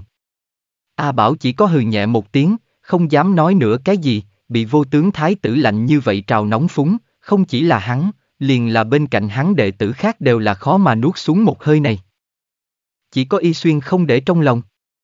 Chúng ta đi thôi, vô tướng thái tử như thế vội vã rời đi, xem ra là bệ hạ muốn tới. Y xuyên để đệ tử trả tiền rượu, phân phó đệ tử khác nói ra. A bảo bọn hắn những đệ tử trẻ tuổi này vừa nghe đến liền có thể nhìn thấy bệ hạ, lập tức không khỏi hưng phấn lên, vì đó kích động, hưng phấn đến ghê gớm. Tiểu hữu, nhìn chúng ta có lại gặp nhau ngày.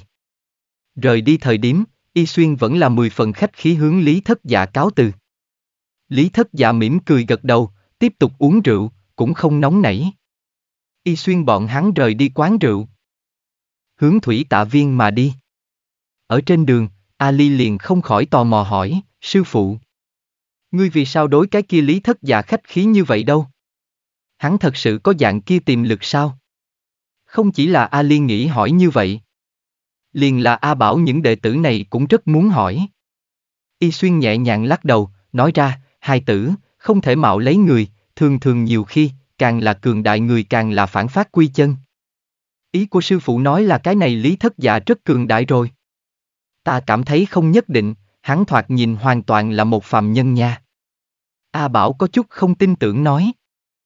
Y Xuyên lắc đầu nói ra, vị này lý đạo hữu không nhất định cường đại, nhưng là, hắn tương lai có rất lớn có thể là rực rỡ hào quang. Thậm chí có thể nói tiền đồ vô lượng.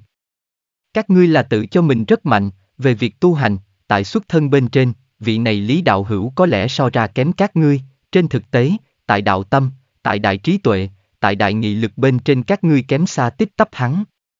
Không chỉ là bởi vì hắn kiên định, hơn nữa hắn là núi lở tại trước mà không biến sắc. Nói đến đây, Y Xuyên nhìn một chút những vãn bối này, nói ra, tu đạo, không chỉ là cần các ngươi trở nên cường đại cỡ nào. Hơn nữa, cũng phải cần để cho các ngươi nội tâm trở nên cường đại cỡ nào. Chỉ có đạo hạnh cùng đạo tâm đồng dạng cường đại. Mới có thể càng chạy càng xa. Các ngươi phải nhớ kỹ, cũng không phải là thiên tài mới có thể trở thành người mạnh nhất. Y xuyên ý vị thâm trường nói ra, vạn cổ đến nay, có bao nhiêu thiên tài, có bao nhiêu tuyệt thế hạng người, nhưng là, mỗi một cái thời đại, cuối cùng trở thành tiên đế chỉ có một người mà thôi. Hơn nữa, có rất nhiều so tiên đế còn muốn kinh tài tuyệt diễm người cuối cùng lại tiêu mây khói tán, không thể trở thành tiên đế. Nói đến đây. Y Xuyên dừng một chút, nói ra. Nhiều khi, cũng không phải là nói những thiên tài này không đủ cường đại, mà là nhiều khi, những thiên tài này đạo tâm không đủ. Có chút là bị đã kích về sau là không gượng dậy nổi, từ đó biến mất trong biển người. Ta biết trong lòng các ngươi rất tự phụ, nhưng, chính các ngươi suy nghĩ một chút, nếu như các ngươi là phạm nhân xuất thân, một kẻ tán tu, các ngươi có thế phong khinh vân đạm, nhàn đợi nhìn tới sao? Nghe được y xuyên, Ali chúng đệ tử không khỏi vì đó bắt đầu trầm mặt, đối với bọn hắn tới nói, bệ hạ cái này một lời nói đối với bọn hắn có cảnh cáo tác dụng. Tại quán rượu bên trong, Lý Thất Dạ uống xong rượu ngon lúc này mới rời đi. Rời đi quán rượu thời điểm, Lý Thất Dạ hỏi một cái thủy tạ viên phương hướng, sau đó liền hướng thủy tạ viên mà đi. Trước đó, Đại Tông chủ Nam Tuần đi ngang qua nơi này tin tức đã sớm truyền ra, vùng này các môn phái tu sĩ thậm chí là tán tu, đều nhao nhao chạy đến, muốn gặp một lần Đại Tông chủ phong thái. Nói tới Đại Tông chủ Diệp Sơ Vân không ít là người nói chuyện say sưa, thậm chí có thể nói, tại toàn bộ Nam Đường Chi Cảnh, có rất nhiều người lấy Diệp Sơ Vân làm ngạo. Rất nhiều người nói tới Diệp Sơ Vân sự tích.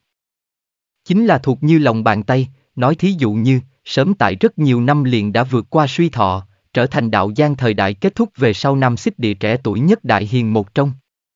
Đại tông chủ chuyện năm đó dấu vết có thể nói là huy hoàng. Tại không ít tu sĩ chạy tới thủy tạ viên thời điểm, cũng không khỏi vì đó hưng phấn, đặc biệt là thế hệ trẻ tuổi, càng là nhìn không được nói đến đại tông chủ sự tích. Đúng nha, đại tông chủ thế nhưng là chúng ta nam đường thế hệ trẻ tuổi đệ nhất nhân, sớm tại năm đó, nàng viễn phó Đông Bách Thành, nhập thiên đạo viện tu hành. trở thành thánh thế viện học sinh. Có người tuổi trẻ nói đến đại tông chủ sự tích, có thể nói là thuộc như lòng bàn tay. Có tuổi trẻ tu sĩ không khỏi vì đó hâm mộ nói ra, đúng nha, thánh thế viện nha, đây chính là tụ tập nhân hoàng giới cao cấp nhất thiên tài học viện, bao nhiêu thiên tài muốn vào đều vào không được. Đại tông chủ sự tích huy hoàng đâu chỉ ở đây, truyền thuyết đại tông chủ còn leo qua thế giới thụ. Phải biết, thế giới thụ ngay cả đế thống tiên môn truyền nhân đều lên không đi. Có truyền ngôn nói, năm đó leo lên thế giới thụ cũng liền trong truyền thuyết thần nhân cơ không vô địch. Tiên tử Mai tố giao mấy người này mà thôi, chúng ta đại tông chủ có thể cùng tiên tử bọn hắn leo lên thế giới thụ, có thể nghĩ chúng ta đại tông chủ là cường đại cỡ nào. Thảo luận lên dịp Sơ Vân chuyện năm đó, rất nhiều thế hệ trẻ tuổi là càng nói càng hưng phấn, khó mà tự đè xuống. Thủy tạ viên, thư tại trong thành phía nam, giang hà vần quanh, cảnh sắc tú lệ, hơn nữa chính là linh khí mờ mịt mù mờ, dạng này một khối địa phương, không phải phạm nhân có khả năng có. Thủy tạ viên, đây là một cái đại giáo môn hạ một khối sản nghiệp, đại tông chủ năm Tuần đến tận đây. Này môn phái lập tức nhượng xuất thủy tạ viên, lấy nghênh đón đại tông chủ đến. Đương lý thất giả đuổi tới thủy tạ viên thời điểm, tuyệt đại đa số môn phái cường giả thậm chí là tán tu đều đã lặng chờ đại tông chủ đến. Đại tông chủ Diệp Sơ Vân năm Tuần, bất kỳ cái gì tu sĩ đều có thể gặp, mặc kệ ngươi là xuất thân từ đại môn phái đệ tử, hay là sợi có xuất thân tán tu, đều có thể tiếp kiến. Cho nên, tại thủy tạ viên đông nghiệp đến từ vùng này tu sĩ, có đại môn phái đại cương quốc trưởng môn hoàng chủ, cũng có xuất thân thấp hèn tiểu tu sĩ. Đối với tiến vào thủy tạ viên tu sĩ, có thể nói là không có cái gì yêu cầu, chỉ cần ngươi là tu sĩ, đều có thể đi vào. Mặc dù là như thế, thủy tạ viên yên nguyên có thị vệ gác, đây là để ngừa có người quấy rối. Phạm nhân không thể đi vào. Đương lý thất giả đuổi tới thủy tạ viên thời điểm, lập tức bị canh giữ ở cổng thị vệ chặn lại, không hề nghi ngờ, lý thất dạ bị liệt vào không cho phép tiến vào một loại người. Coi như lý thất dạ không phải phạm nhân, lấy hắn lần này đầu bù ô mặt bộ dáng, cũng không có khả năng đi vào, thả người như vậy đi vào, vậy đơn giản liền là có hại bọn hắn năm đường mặt mũi. Đừng ngăn cản đường của ta. Lý thất dạ chỉ là vẫy một cái tóc, nhìn lấy lấy trường thương ngăn trở hắn đường đi hai cái thị vệ. Đương Lý thất dạ bình thản ánh mắt chiếu tới thời điểm, hai cái cầm trong tay trường thương thị vệ không từ run một cái, cái này bình thản ánh mắt không có bất kỳ cái gì thần uy, lại cho người ta một loại không nói được áp bách, để cho người ta hai chân như nhũng ra, sinh ra bản năng e ngại. Hai cái này thị vệ vốn chính là tu hành cạn, sao có thể thừa nhận lý thất dạ ánh mắt, hai chân mềm nhũng, căn bản cũng không dám cản lý thất dạ con đường, tùy ý hắn đi vào. Đương lý thất dạ sau khi đi vào, hai cái này thì vệ lúc này mới thật dài thở ra một hơi, hai người bọn họ không khỏi hai mặt nhìn nhau, lưng phát lạnh, cũng không khỏi lầm bầm nói ra, cái này, đây thật là gặp quỷ rồi. Lúc này, tại Thủy Tạ Viên đã có rất nhiều tu sĩ lặng lặng yên chờ đợi Đại Tông Chủ đến. Tại đông đảo tu sĩ bên trong, trong đó không thiếu một giáo chi trưởng, một nước chi chủ, những này quen biết cường giả là thân thiện chào hỏi. Mà rất nhiều đến tiếp kiến đại tông chủ tán tu hoặc là xuất thân từ tiểu môn tiểu phái tu sĩ thì là có tự mình hiểu lấy, bọn hắn ngồi ở không đáng chú ý nơi hẻo lánh.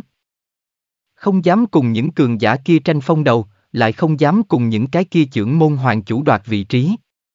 Đương nhiên, những cái kia thực lực tương đối cường đại trưởng môn hoàng chủ cũng là ngồi tại phía trước, bọn hắn có được ưu tiên tiếp kiến đại tông chủ tư cách. Đó là ai, Trước mặt mọi người vị trưởng môn hoàng chủ tương hổ hàng huyên ân cần thăm hỏi thời điểm, có người nhìn thấy Lý Thất Dạ từ bên ngoài đi tới, không khỏi kinh ngạc nói ra. Trong lúc nhất thời, ở đây không ít ánh mắt rơi vào Lý Thất Dạ thân, rất nhiều người nhìn thấy Lý Thất Dạ cái kia đầu bù cấu mặt bộ dáng. Cũng không khỏi nhíu chặt mày lên. Lấy ở đâu này ăn mày, tại sao như vậy người đều bỏ vào đến? Có trưởng môn nhìn thấy Lý Thất Dạ, không khỏi nhíu mày, nói ra. Đối với bọn hắn tới nói, tiếp kiến đại tông chủ là một kiện đại sự, hiện tại chạy tới một cái xin cơm, này làm sao không cho bọn hắn không vui đâu. Hừ, hắn chạy tới nơi này làm gì, chỗ như vậy là hắn có thể tới đấy sao? Nhìn thấy lý thất dạ vậy mà chạy đến thủy tạ viên đến, một mực đối lý thất dạ bất mãn A Bảo không khỏi hừ một tiếng. Coi như là y xuyên cũng không có nghĩ đến lý thất dạ đột nhiên chạy đến nơi đây. Hắn cũng là mười phần ngoài ý muốn. Tiểu bối, ngươi có phải hay không đi lầm đường? Có trưởng môn đối lý thất dạ thẳng đi tới, bất mãn hết sức, trầm giọng nói, khí thế cực kỳ khiếp người, nếu là bình thường phạm nhân, tại hắn dạng này dưới khí thế, chỉ sợ là bị dọa đến hai chân như nhũng ra. Lý thất dạ lúc này mới chậm rãi nhìn hắn một cái, nói ra, nơi này là thủy tạ viên sao? Không sai, nơi này là thủy tạ viên, nhưng, đây không phải địa phương ngươi có thể tới. Vị này trưởng môn trầm giọng nói, trên người hiển hiện hoàng uy. Lý thất giả lắc nhẹ, đánh gãy hắn. Nói ra, là thủy tạ viên liền không có sai, vậy ta không đi sai địa phương. Nha, đây không phải y xuyên hoàng chủ bằng hữu sao? Làm sao, y xuyên hoàng chủ, bằng hữu của ngươi xin cơm muốn tới nơi này tới. Lúc này, một cái châm chọc khiêu khích thanh âm vang lên, người nói chuyện chính là tiểu tướng quốc thái tử. Trước mặt của mọi người, tiểu tướng quốc thái tử nói như vậy, có chủ tâm là muốn để y xuyên mất hết mặt mũi, có chủ tâm là cùng y xuyên gây khó dễ.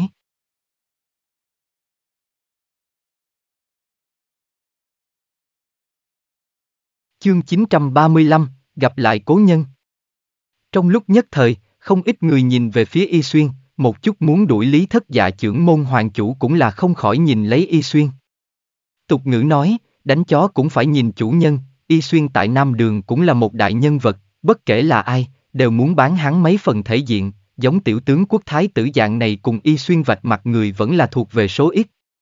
Lúc này, Y Xuyên sau lưng A Bảo những đệ tử này không khỏi nhìn hầm hầm Lý Thất Dạ, tại bọn hắn mấy cái này đệ tử xem ra, Lý Thất Dạ đây là mất hết bọn hắn Tô Hàn Quốc mặt mũi. Đây là có chủ tâm để bọn hắn bệ hạ không cách nào xuống đài. Tại trước mắt bao người, Y Xuyên không khỏi có chút xấu hổ, hắn cười khang một tiếng, nói ra, vị tiểu hữu này lão phu đích thật là nhận biết. Tại trước mắt bao người, Y Xuyên cũng không phủ nhận, thừa nhận nhận biết Lý Thất Dạ. Lý Thất Dạ nhẹ nhàng bày khoát tay, nói ra, ta tới đây, không có quan hệ gì với Y Hoàng Chủ, ta không cần các vị quan tâm, mọi người nên làm gì thì làm nha. Ha ha, tiểu tử, nếu không phải Y Xuyên mang ngươi đến, chỗ như vậy là ngươi có thể tới đấy sao? Tiểu tướng quốc thái tử chăm chọc khiêu khích nói. Ngươi con mắt nào nhìn thấy chúng ta bệ hạ dẫn hắn đến rồi? A Bảo không khỏi nhìn hầm hầm tiểu tướng quốc thái tử, tiểu tướng quốc thái tử nhất định phải nói như vậy, đó là cố ý nhục nhã bọn hắn bệ hạ. A Bảo, bất quá vô lễ. Y Xuyên nhẹ nhàng lắc đầu, nói ra, coi như là lão phu mang vị tiểu hữu này tới đây cũng không thể của trách nhiều, đại tông chủ Nam Tuần, liền là sẽ gặp các nơi tu sĩ. Đối với dạng này tình huống, Lý Thất Dạ chỉ là nở nụ cười, đại mã kim đao ngồi xuống. Tiểu bối, cút sang một bên, vị trí này không phải ngươi có thế ngồi. Đương Lý Thất Dạ tọa hạ thời điểm. Lập tức có hoàng chủ trầm giọng quát. Trong lúc nhất thời, không ít ánh mắt lạnh lẽo nhìn Lý Thất Dạ. Theo bọn hắn nghĩ. Lý Thất Dạ cái này thật sự là quá không biết tiếng thối. Vậy mà một cái ngồi ở phía trước nhất. Tại rất nhiều người xem ra, giống Lý Thất Dạ dạng này đầu bù cấu mặt người, chỉ có thể ngồi ở không đáng chú ý nơi hẻo lánh, thậm chí ngay cả tán tu cũng không nguyện ý cùng hắn ngồi cùng một chỗ. Hiện tại Lý Thất Dạ ngược lại tốt, trực tiếp ngồi ở phía trước nhất, như thế đoạt người chú mục, đơn giản liền là có hại xem cho. Lý thất dạ chậm rãi quay mặt đi. Nhìn thẳng vị hoàng chủ này. Thông dông nhàn định nói ra, cửu thiên chi thượng ta đều có thế ngồi, huống chi vị trí này, cho ta câm miệng ngươi lại. Ngươi, vị hoàng chủ này không khỏi tức giận đến run rẩy, nhìn hầm hầm lý thất dạ, bị dạng này một cái vô danh tiểu bối như thế quát lên, đây đối với hắn tới nói, đơn giản liền là vô cùng nhục nhã. Ha ha, xem ra có người là cầm y xuyên hoàng chủ thần uy, cho nên mới dám lớn lối như vậy bá đạo. Lúc này, tiểu tướng quốc thái tử cười lạnh nói ra. Tiểu tướng quốc cùng Tô Hàn Quốc cho tới nay đều bất hòa. Lúc này tiểu tướng quốc thái tử châm ngòi thổi gió. Chính là muốn để y xuyên khó xử. Để y xuyên khó làm. Y hoàng chủ, nếu là ngươi môn hạ đệ tử, hảo hảo quản giáo một phen, để tránh tại đại tông chủ trước mặt mất mặt xấu hổ. Vừa rồi khiển trách lộ lý thất dạ hoàng chủ trầm giọng nói với Y Xuyên. Nếu như lý thất dạ là Y Xuyên đệ tử, hắn là không tiện xuất thủ quản giáo lý thất dạ, cho nên, hắn cho Y Xuyên tạo áp lực. Y hoàng chủ, đệ tử như vậy hẳn là hảo hảo quản giáo, cái này còn thể thống gì? Tiểu bối, nhanh đến ngươi trưởng bối sau lưng đi, nơi này đâu có ngươi ngồi địa phương. Cũng có trưởng môn đối lý thất dạ hành động như vậy bất mãn hết sức. Lạnh lùng nói. Lúc này, A bảo mấy người bọn hắn cũng không khỏi nhìn hầm hầm lý thất dạ, lý thất dạ hành động như vậy để bọn hắn bệ hạ dặm ngoài cũng không phải người, để bọn hắn bệ bên trên mất hết mặt mũi. Y xuyên không khỏi có mấy phần xấu hổ, hắn cũng không thể tránh được, hướng lý thất dạ vẫy vẫy tay, nói ra, tiểu hữu, đến đằng sau ta đến ngồi đi, ngươi ngồi chính là trưởng môn hoàng chủ vị trí. Y xuyên cử động như vậy, có thể nói là đối lý thất dạ là mười phần thân mật, đổi lại người khác, căn bản liền không biết đi bao che lý thất dạ. Lý thất dạ ngồi ở chỗ đó là vững như bàn thạch. Bình yên bất động, hắn nở nụ cười, nói ra, y hoàng chủ, đa tạ ngươi quan tâm, ta chỗ này ngồi rất tốt. Lý thất dạ nói như vậy, y xuyên cười khổ một cái, A bảo là căm giận bất bình, nói ra, bệ hạ, loại này không biết tốt xấu người, quản hắn làm gì. Ở đây rất nhiều người đều nhìn lấy lý thất dạ, các loại thần thái đều có, có người cảm thấy tiểu tử này điên, có người cảm thấy gia hỏa này rất có ý tứ, về phần một chút hoàng chủ trưởng môn, đối với lý thất dạ dạng này một cái xin cơm bộ dáng người cũng dám đoạt ngồi hoàng chủ chức trưởng môn, đây quả thực là khiêu chiến quyền uy của bọn hắn. Tiểu bối, như còn không biết tiếng thối, bản tọa đem ngươi ném ra, vừa rồi người hoàng chủ kia lạnh giọng nói.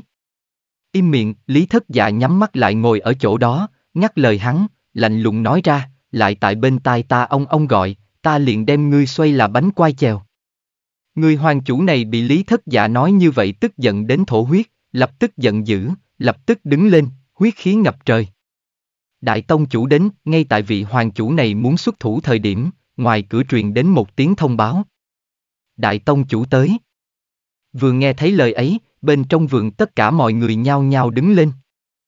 Lấy nghênh đón đại tông chủ đến. Vốn muốn ra tay với lý thất dạ hoàng chủ hừ lạnh một tiếng, nhìn xuống trong suy nghĩ lửa giận, bận biểu đi nghênh đón đại tông chủ đến. Tại mọi người đón lấy phía dưới, rốt cục đương kim nam đường cương quốc quân hoàng, thanh liên tông tông chủ Diệp Sơ Vân xuất hiện tại mọi người trước mắt. Bái kiến đại tông chủ. Nhìn thấy Diệp Sơ Vân, tất cả mọi người nhao nhao tiến lên tiếp kiến, đối với đám người mà nói, không chỉ là bởi vì Diệp Sơ Vân là nam đường đại tông chủ, đồng thời, cũng là bởi vì hôm nay Diệp Sơ Vân đã là một tôn không tầm thường đại hiền. Phóng nhãn nam xích địa, thế hệ trẻ tuổi đăng lâm đại hiền người cũng không nhiều, có thể nói là có thể đếm được trên đầu ngón tay, Diệp Sơ Vân tại rất nhiều năm trước liền trở thành đại hiền, có thể nói đủ cường đại, đầy đủ để cho người ta vì đó kiêu ngạo, cũng đầy đủ để cho người ta vì đó kính sợ.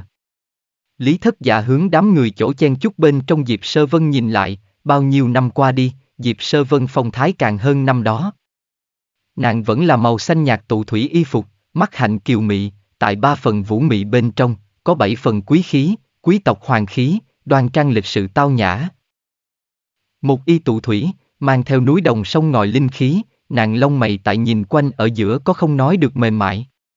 Cùng ngày xưa khác biệt chính là, hôm nay Diệp Sơ Vân tại cử động ở giữa, có một cổ bãi thiên hạp địa khí thế, có lật tay thành mây trở tay thành mưa thần uy.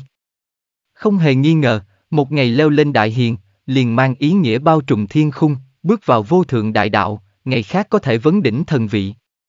Vào lúc này, đông đảo hoàng chủ trưởng môn đều nhao nhao chen lên tiếng đến bái kiến Diệp Sơ Vân, coi như là xuất thân tiểu môn tiểu phái tu sĩ hoặc là tán tu cũng tìm một cơ hội từng cái chen lên tiếng đến bái kiến.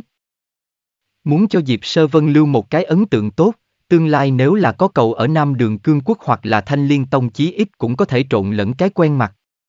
Y Xuyên cũng vội vàng là mang theo vãn bối của mình tiến lên tiếp kiến Diệp Sơ Vân, như A Bảo bọn hắn lần đầu nhìn thấy Diệp Sơ Vân cũng không khỏi vì đó hưng phấn, đối với bọn hắn tới nói, không phân biệt nam nữ, Đại Tông Chủ là bọn hắn ngưỡng mộ thần nữ, có thể nhìn thấy nàng, chính là vinh hạnh của bọn hắn. Diệp Sơ Vân không có mỏng này dày kia, đều là từng cái gật đầu gặp nhau, đương Diệp Sơ Vân từng cái gặp nhau về sau. Bên người nàng đã là vây đầy đông đảo trưởng môn hoàng chủ. Ở thời điểm này, Diệp Sơ Vân ánh mắt dừng lại một chút, trong lúc lơ đảng, nàng nhìn thấy cái kia trống trơn đông đảo vị trí bên trên ngồi một người, một cái đầu bù cấu mặt người, nhưng là, thân hình kia, tấm lưng kia, quá quen thuộc. Diệp Sơ Vân không khỏi chấn kinh, bởi vì hắn đã mất tích rất lâu, không có ai biết hắn hạ lạc, hôm nay đột nhiên xuất hiện tại chính mình trước mắt, cái này thật sự là để cho nàng quá khiếp sợ. Bệ hạ, cái này này ăn mày là trà trộn vào tới, để tại hạ đuổi hắn đi. Tiểu tướng quốc thái tử cho rằng lý thất dạ dạng này một cái này ăn mày người xuất hiện ở đây để đại tông chủ tức giận. Lập tức tranh công, gấp hướng lý thất dạ đi đến. Thối phát cơm, lăn ra ngoài, chớ có điếm ô bệ hạ tầm mắt. Tiểu tướng quốc thái tử quát khẽ một tiếng, đại thủ hướng lý thất dạ chập tới. Ba, một tiếng vang lên, tiểu tướng quốc thái tử còn chưa bắt được lý thất dạ, bột một tiếng thanh thúy cái tác vang lên, không có người thấy rõ ràng lý thất dạ là thế nào một bạc tai quốc vào tiểu tướng quốc thái tử trên mặt, tiểu tướng quốc thái tử, phốc, một tiếng, há miệng phun ra một ngụm máu tươi, răng đều bị đánh nát. Tiểu súc sinh, tiểu tướng quốc thái tử cùng nộ, muốn chém lý thất dạ. Lui ra. Lúc này, khiếp sợ Diệp Sơ Vân lấy lại tinh thần, quát khẽ một tiếng, thân là đại hiền nàng, một tiếng quát khẽ, lập tức tiểu tướng quốc thái tử đông đông đông liền lùi lại mấy bước, riêng là một tiếng quát khẽ, liền trấn áp đến tiểu tướng quốc thái tử đứng không dậy nổi, song phương thực lực cách biệt quá xa. Lý thất dạ yên nguyên bình chân như vậy ngồi tại vị đưa bên trên, vẫn là đầu bù cấu mặt, nhìn lấy Diệp Sơ Vân, nhàn nhã cười một tiếng, nói ra, Diệp cô nương, đã lâu. Xưng hô như vậy vừa ra, để không ít người vì đó ngạt thở, tại Nam Đường có ai dám như thế gọi thẳng Đại Tông Chủ. Trừ phi là thế hệ trước Đại Hiền. Diệp Sơ Vân bước nhanh hướng Lý Thất Dạ đi đến, nói ra, Lý Huynh, đã lâu không gặp, không nghĩ tới Lý Huynh đại giá quan lâm, Lý Huynh nếu là thông báo một tiếng, tiểu mùi thân nghênh. Thấy như vậy một màn, để ở đây trưởng môn hoàng chủ vì đó ngạt thở, có thể làm cho bọn hắn đại tông chủ khách khí như thế, có thể nghĩ thân phận của đối phương. Y xuyên sau lưng A bảo bọn hắn những vãn bối này càng là bất khả tư nghị nhìn lấy một màn này, đầu bù cấu mặt lý thất dạ bất luận từ chỗ nào một phương diện, đều không đáng đến bọn hắn đại tông chủ khách khí như thế. Lý thất dạ nở nụ cười, nhẹ nhàng lắc đầu nói ra, dịp cô nương khách khí, ta cũng là vừa trở về mà thôi, vừa vặn dọc đường năm đường, nghĩ có một việc nhờ vả cô nương.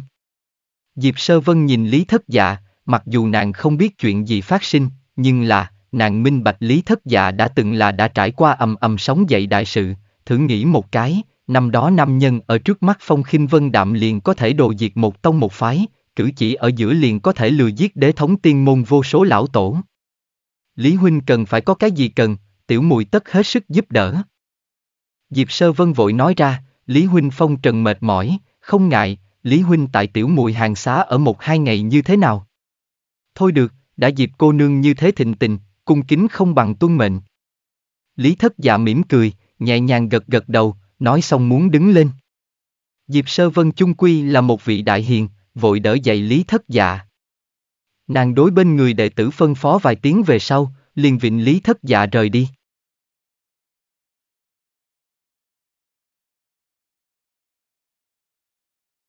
Chương 936, Diệp Sơ Vân Trong lúc nhất thời, Thủy Tạ Viên yên tĩnh vô cùng, tất cả mọi người đưa mắt nhìn Đại Tông chủ tự mình dắt đỡ lấy Lý Thất Dạ rời đi. Vô số người bị trước mắt một màn này chấn kinh, không có ai biết cái này đầu bù cấu mặt thanh niên ra sao lai lịch, bọn hắn Đại Tông chủ vậy mà tự mình dắt đỡ, cái này không chỉ là khách khí, càng nhiều là cung kính. Trong lúc nhất thời, rất nhiều người là trong đầu trống rỗng, ngạt thở đến thật lâu không thở nổi. Đại Tông Chủ không chỉ là chấp chưởng lấy nam đường quyền hành, càng là một vị không tầm thường đại hiền. Phóng nhãn nam xích địa thế hệ trẻ tuổi, nàng đều là đứng đầu nhất thiên tài một trong. Hôm nay, bọn hắn đại tông chủ vậy mà tự mình dắt đỡ cái này đầu bù cấu mặt thanh niên, cử chỉ ở giữa, không mất cung kính, cái này có thể nghĩ người thanh niên này tại đại tông chủ trong suy nghĩ địa vị cao bậc nào. Chuyện như vậy, ở đây bất luận kẻ nào đều không thể tin được, coi như là y xuyên cũng không nghĩ đến, hắn còn tưởng rằng Lý Thất Dạ là một cái bình thường tán tu mà thôi. Về phần A Bảo bọn hắn những vãn bối này càng là miệng há thật lớn, trong lúc nhất thời là thật lâu khép lại không lên. Đối với bọn hắn tới nói, Đại Tông chủ chính là bọn hắn chỗ ngưỡng vọng thần nữ, cao không thể chạm, nhưng là, hôm nay, Đại Tông chủ lại tự mình dắt đỡ Lý Thất Dạ, thần thái cung kính, cái này thật là làm cho người ta cảm thấy bất khả tư nghị. Trước đó, A bảo bọn hắn những vãn bối này còn đối lý thất dạ là đủ loại bất mãn đâu, hiện tại tỉ mỉ nghĩ lại, chân chính vô tri chính là bọn hắn. Xong, tiểu tướng quốc thái tử đặt mông ngồi dưới đất, lập tức sắc mặt trắng bệch, thất hồn lạc phách, ngay cả bọn hắn đại tông chủ đều cung kính như thế, nhưng mà, hắn lại đem đối phương hoàn toàn đắc tội. Liền là vừa mới muốn ra tay với Lý Thất Dạ hoàng chủ cũng không khỏi mồ hôi lạnh chảy ròng ròng, hắn cũng không có nghĩ đến cái này không đáng chú ý tiểu ăn mày lại có dạng này kinh thiên lai lịch. Ở thời điểm này, có ít người nghĩ đến Y Xuyên. Ở trong sân Y Xuyên duy nhất cùng Lý Thất Dạ giao hảo người. Y Huynh. Vừa rồi vị công tử kia ra sao lai lịch đâu? Lúc này có không ít hoàng chủ trưởng môn nhau nhau hướng Y Xuyên tìm hiểu Lý Thất Dạ tin tức.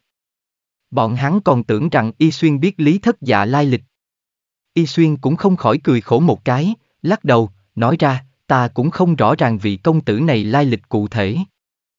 Lý Thất Dạ ngồi tại Diệp Sơ Vân trong xe ngựa, Diệp Sơ Vân gặp Lý Thất Dạ bộ dáng chật vật, không khỏi quan tâm hỏi, Lý Huynh là đã xảy ra chuyện gì đâu.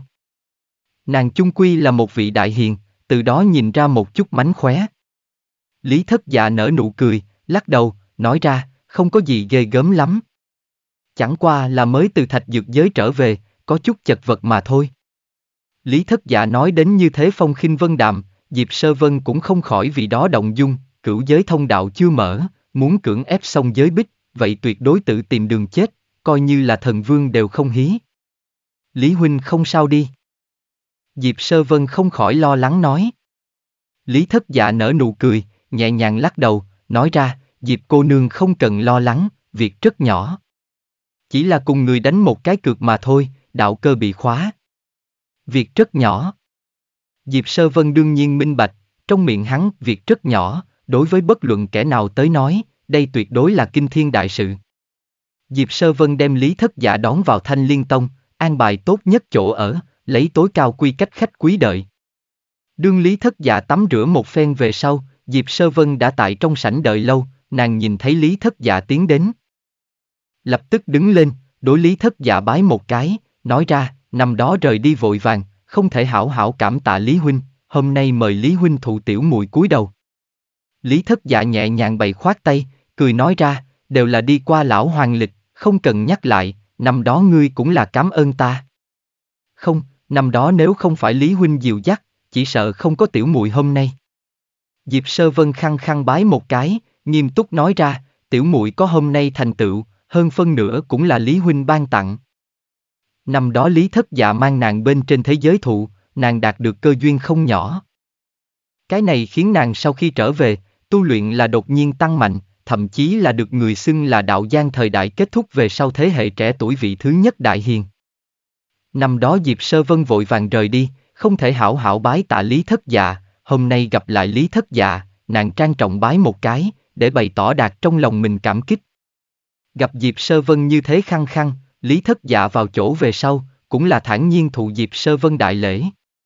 Diệp Sơ Vân bái một cái về sau, cùng Lý Thất Dạ ngồi chung, Lý Thất Dạ nhìn một chút nàng, mỉm cười nói ra, Diệp cô nương cũng là người quen. Ta cũng không khách khí, đầu tiên, ta là muốn hỏi một chút ta tẩy nhan cổ phái sự tình. Điểm này Lý Huynh thả trăm ngàn cái tâm. Diệp Sơ Vân lộ tiếu dung, nàng dạng này dịu dàng nữ hài tử lộ ra nụ cười thời điểm đặc biệt tốt nhìn, nàng mỉm cười nói ra, hôm nay tẩy nhang cổ phái, thế nhưng là không phải tầm thường. Mặc dù ta không có đi trung đại vực, nhưng, cũng nghe đến một chút tin tức, trung đại vực truyền ra tin tức nói, Lý cô nương cùng Trần cô nương đều đã là tiên thể trung thành, còn có quý phái tô trưởng môn cũng là tiên thể trung thành, có thể nói là uy hiếp toàn bộ trung đại vực thậm chí là cả nhân hoàng giới. Tô trưởng môn các nàng tiên thể trung thành thời điểm. Nhân hoàng giới đông đảo môn phái chúc mừng, đáng tiếc, khi đó tiểu mùi bế quan, không thể thành hàng, chỉ có thể để đệ tử đưa lên lễ mọn. Diệp Sơ Vân lời này cũng không khoa trương, một môn ba tiên thể, cái này khó trách chấn nhiếp toàn bộ nhân hoàng giới, hiện tại ba tôn trung thành tiên thể, mặc kệ là thế nào đại hiền đều muốn nhượng bộ lui binh. Chớ nói chi là tương lai có cơ hội là tam đại trung thành tiên thể có khả năng đại thành.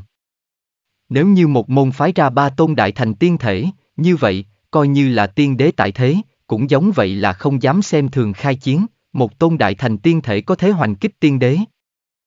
Nếu là ba tôn đại thành tiên thể cùng một môn phái, còn đến mức nào? Đương nhiên, thế nhân cũng không biết Trần Bảo Kiều thể chất, nhưng là, có người từ Trần Bảo Kiều thể chất quy lực đến suy tính, cho rằng Trần Bảo Kiều tu luyện tự như tiên thể, cụ thể là thế nào thể thuật, không được biết. Nghe được Diệp Sơ Vân lời như vậy, Lý Thất Dạ cũng thở dài một hơi, hắn nhẹ gật đầu nói ra, vậy ta liền lại nắm Diệp cô nương một việc. Lý Huynh có gì cần cứ việc phân phó, tiểu mùi nhất định là toàn lực tương trợ. Diệp Sơ Vân vội nói. Lý thất dạ nhẹ nhàng lắc đầu. Nói ra, Diệp cô nương nói đến quá khách khí, ta chỉ là muốn Diệp cô nương giúp ta truyền cái tin tức, để tẩy nhan cổ phái đệ tử biết ta trở về liền có thể. Đây là việc rất nhỏ. Diệp Sơ Vân vội nói ra, ta lập tức để môn hạ đệ tử giúp Lý Huynh ra sức trâu ngựa. Bất quá, Lý Huynh cũng phải có chuẩn bị tâm lý, nhất thời nửa khắc chúng ta cũng vô pháp đem tin tức truyền tống đến tẩy nhan cổ phái.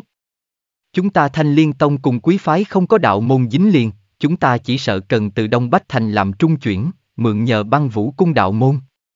Hai môn phái trực tiếp truyền tống là tu sĩ ở giữa mau lệ nhất truyền tống.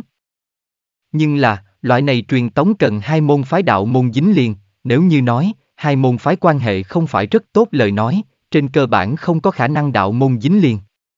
Còn có một loại truyền tống liền là điểm mù truyền tống, liền là chỉ biết đại khái vị trí, không cách nào tinh chuẩn chuyển giao đi qua, loại này truyền tống không chỉ là cần càng lớn tinh bích, hơn nữa còn tồn tại không nhỏ sai sót, thậm chí có khả năng đem người truyền tống đến hung hiểm khu vực. Cái này không vội, chỉ cần đem lời dẫn đi là được rồi. Lý thất dạ gật đầu nói. Tại tạm thời trong phòng hắn không có ý định về trung đại vực. Hắn lưu tại Nam Xích Địa là có những tính toán khác. Lý Huynh lời nói chúng ta nhất định sẽ đưa đến. Diệp Sơ Vân nói ra, không biết Lý Huynh muốn tại Nam Xích Địa lưu lại bao lâu đâu. Nếu là Lý Huynh thời gian không vội, không chê, Lý Huynh tại ta hàng xá ở thêm chút thời gian, tiểu muội còn nghĩ mời Lý Huynh chỉ điểm sai lầm đây. Diệp Sơ Vân đem lời nói đến rất thẳng thắn, cũng không có chút nào già mồm. Đã dịp cô nương nhiệt tình như vậy, vậy ta liền cung kính không bằng tuân mệnh. Lý thất dạ cũng không khách khí, cười cười. Nhìn lấy dịp Sơ Vân, Lý thất dạ hỏi, không biết những năm này nhân hoàng giới nhưng phát sinh có cái gì đại sự. Lý Huynh rời đi những năm này. Nhân hoàng giới có thể nói bình tĩnh. Diệp Sơ Vân nói ra, năm đó Lý Huynh một trận chiến, cũng là cảnh cáo thiên hạ, tại đây chút năm nhân hoàng giới rất nhiều môn phái đều là vùi đầu khổ tu, ít có người nhất lên sóng to gió lớn. Điểm này Diệp Sơ Vân nói tới không giả, năm đó thiên đạo viện một trận chiến, uy hiếp toàn bộ nhân hoàng giới, đặc biệt là vực thần tùy tiện đạp nát diêu quan cổ quốc, đây là để rất nhiều đại giáo truyền thường ngay cả thở mạnh cũng không dám. Nhân hoàng giới còn có vực thần cường đại như vậy tồn tại, bất kể là ai, nghĩ nhất lên cái gì sóng to gió lớn. Đều muốn ước lượng một cái cân lượng của mình. Đối với năm đó chuyện cũ, Lý Thất Dạ chỉ là cười nhạt một tiếng, không có nhiều lời. Những năm này, duy nhất để cho người ta oanh động liền là tán Phật Cao Nguyên tuyên bố Lan Đà tự cùng nó dưới tất cả chùa miếu một lần nữa mở ra, nguyện tiếp nhận thiên hạ độ hóa người hữu duyên. Diệp Sơ Vân đem những gì mình biết tin tức nói cho Lý Thất Dạ. Tán Phật Cao Nguyên rốt cục mở. Nghe được lời như vậy, Lý Thất Dạ không khỏi hít một cái con mắt, nói ra, đạo giang kết thúc, nhìn Lan Đà tự cũng nghĩ mời chào thiên hạ. Mỗi ngày đi tán Phật Cao Nguyên tu sĩ nhiều vô số kể. Bất quá, mấy năm này có mấy cái thiên tài bị độ hóa, cho nên đằng sau muốn đi tán Phật Cao Nguyên người, đặc biệt là thế hệ trẻ tuổi thiên tài cẩn thận rất nhiều. Diệp Sơ Vân nói ra. Tán Phật cao nguyên nha. Lý thất dạ không khỏi ngẩng đầu nhìn ra xa xa, thì thào nói. Tán Phật cao nguyên, là 12 tán địa một trong, trong này chôn giấu lấy quá nhiều bí mật, trong này, có quá nhiều làm cho không người nào có thể hiểu sự tình. Lý Huynh dự định đi tán Phật cao nguyên. Diệp Sơ Vân gặp Lý Thất Dạ thần thái như thế, không khỏi hỏi. Lý Thất Dạ khe khẽ lắc đầu, nói ra, không vội. Tán Phật cao nguyên ở nơi đó cũng sẽ không chạy mất, đã lạng đà tự đã lần nữa khai trương, liền mang ý nghĩa bọn hắn không có nhanh như vậy đóng cửa, chờ ta đem trong tay sự tình xử lý xong lại đi tán Phật cao nguyên cũng không muộn. Không biết Lý Huynh có chỗ nào muốn tiểu mùi ra sức? Diệp Sơ Vân cũng không có già mồm, rất thẳng thắn nói. Lý Thất dạ mỉm cười nói ra, nếu là cần Diệp cô nương địa phương, ta nhất định sẽ nói với Diệp cô nương. Lý Huynh chỉ cần có cần tiểu mùi địa phương, đến lúc đó cứ việc phân phó chính là, tiểu mùi cùng thanh liên tông hẳn là hết sức giúp đỡ.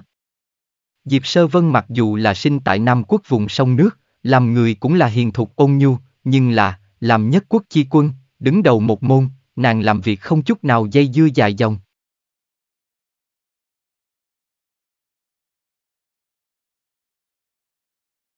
Chương 937, Như hình với bóng Lý thất dạ tại Thanh Liên Tông ở lại, hắn lưu tại Thanh Liên Tông ngoại trừ rèn luyện đạo cơ bên ngoài, đồng thời tại lĩnh hội vô thượng huyền diệu, hắn muốn đem vĩnh sinh chi chu hoàn thiện. Trong lòng của hắn có một cái tư tưởng, nếu là sinh mệnh chi chu, sáng thế chi chu, vĩnh sinh chi chu đều hoàn thiện về sau, sẽ có một cái hoàn toàn mới cơ cấu.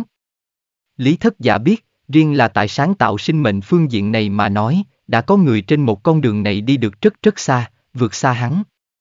Nhưng là, ngay tại cái này sáng tạo sinh mệnh trên con đường này. Người cường đại cỡ nào, cuối cùng cũng là bỏ ra thê thảm đau đớn đại giới, đây là chuyện nghịch thiên, khiêu chiến thương thiên.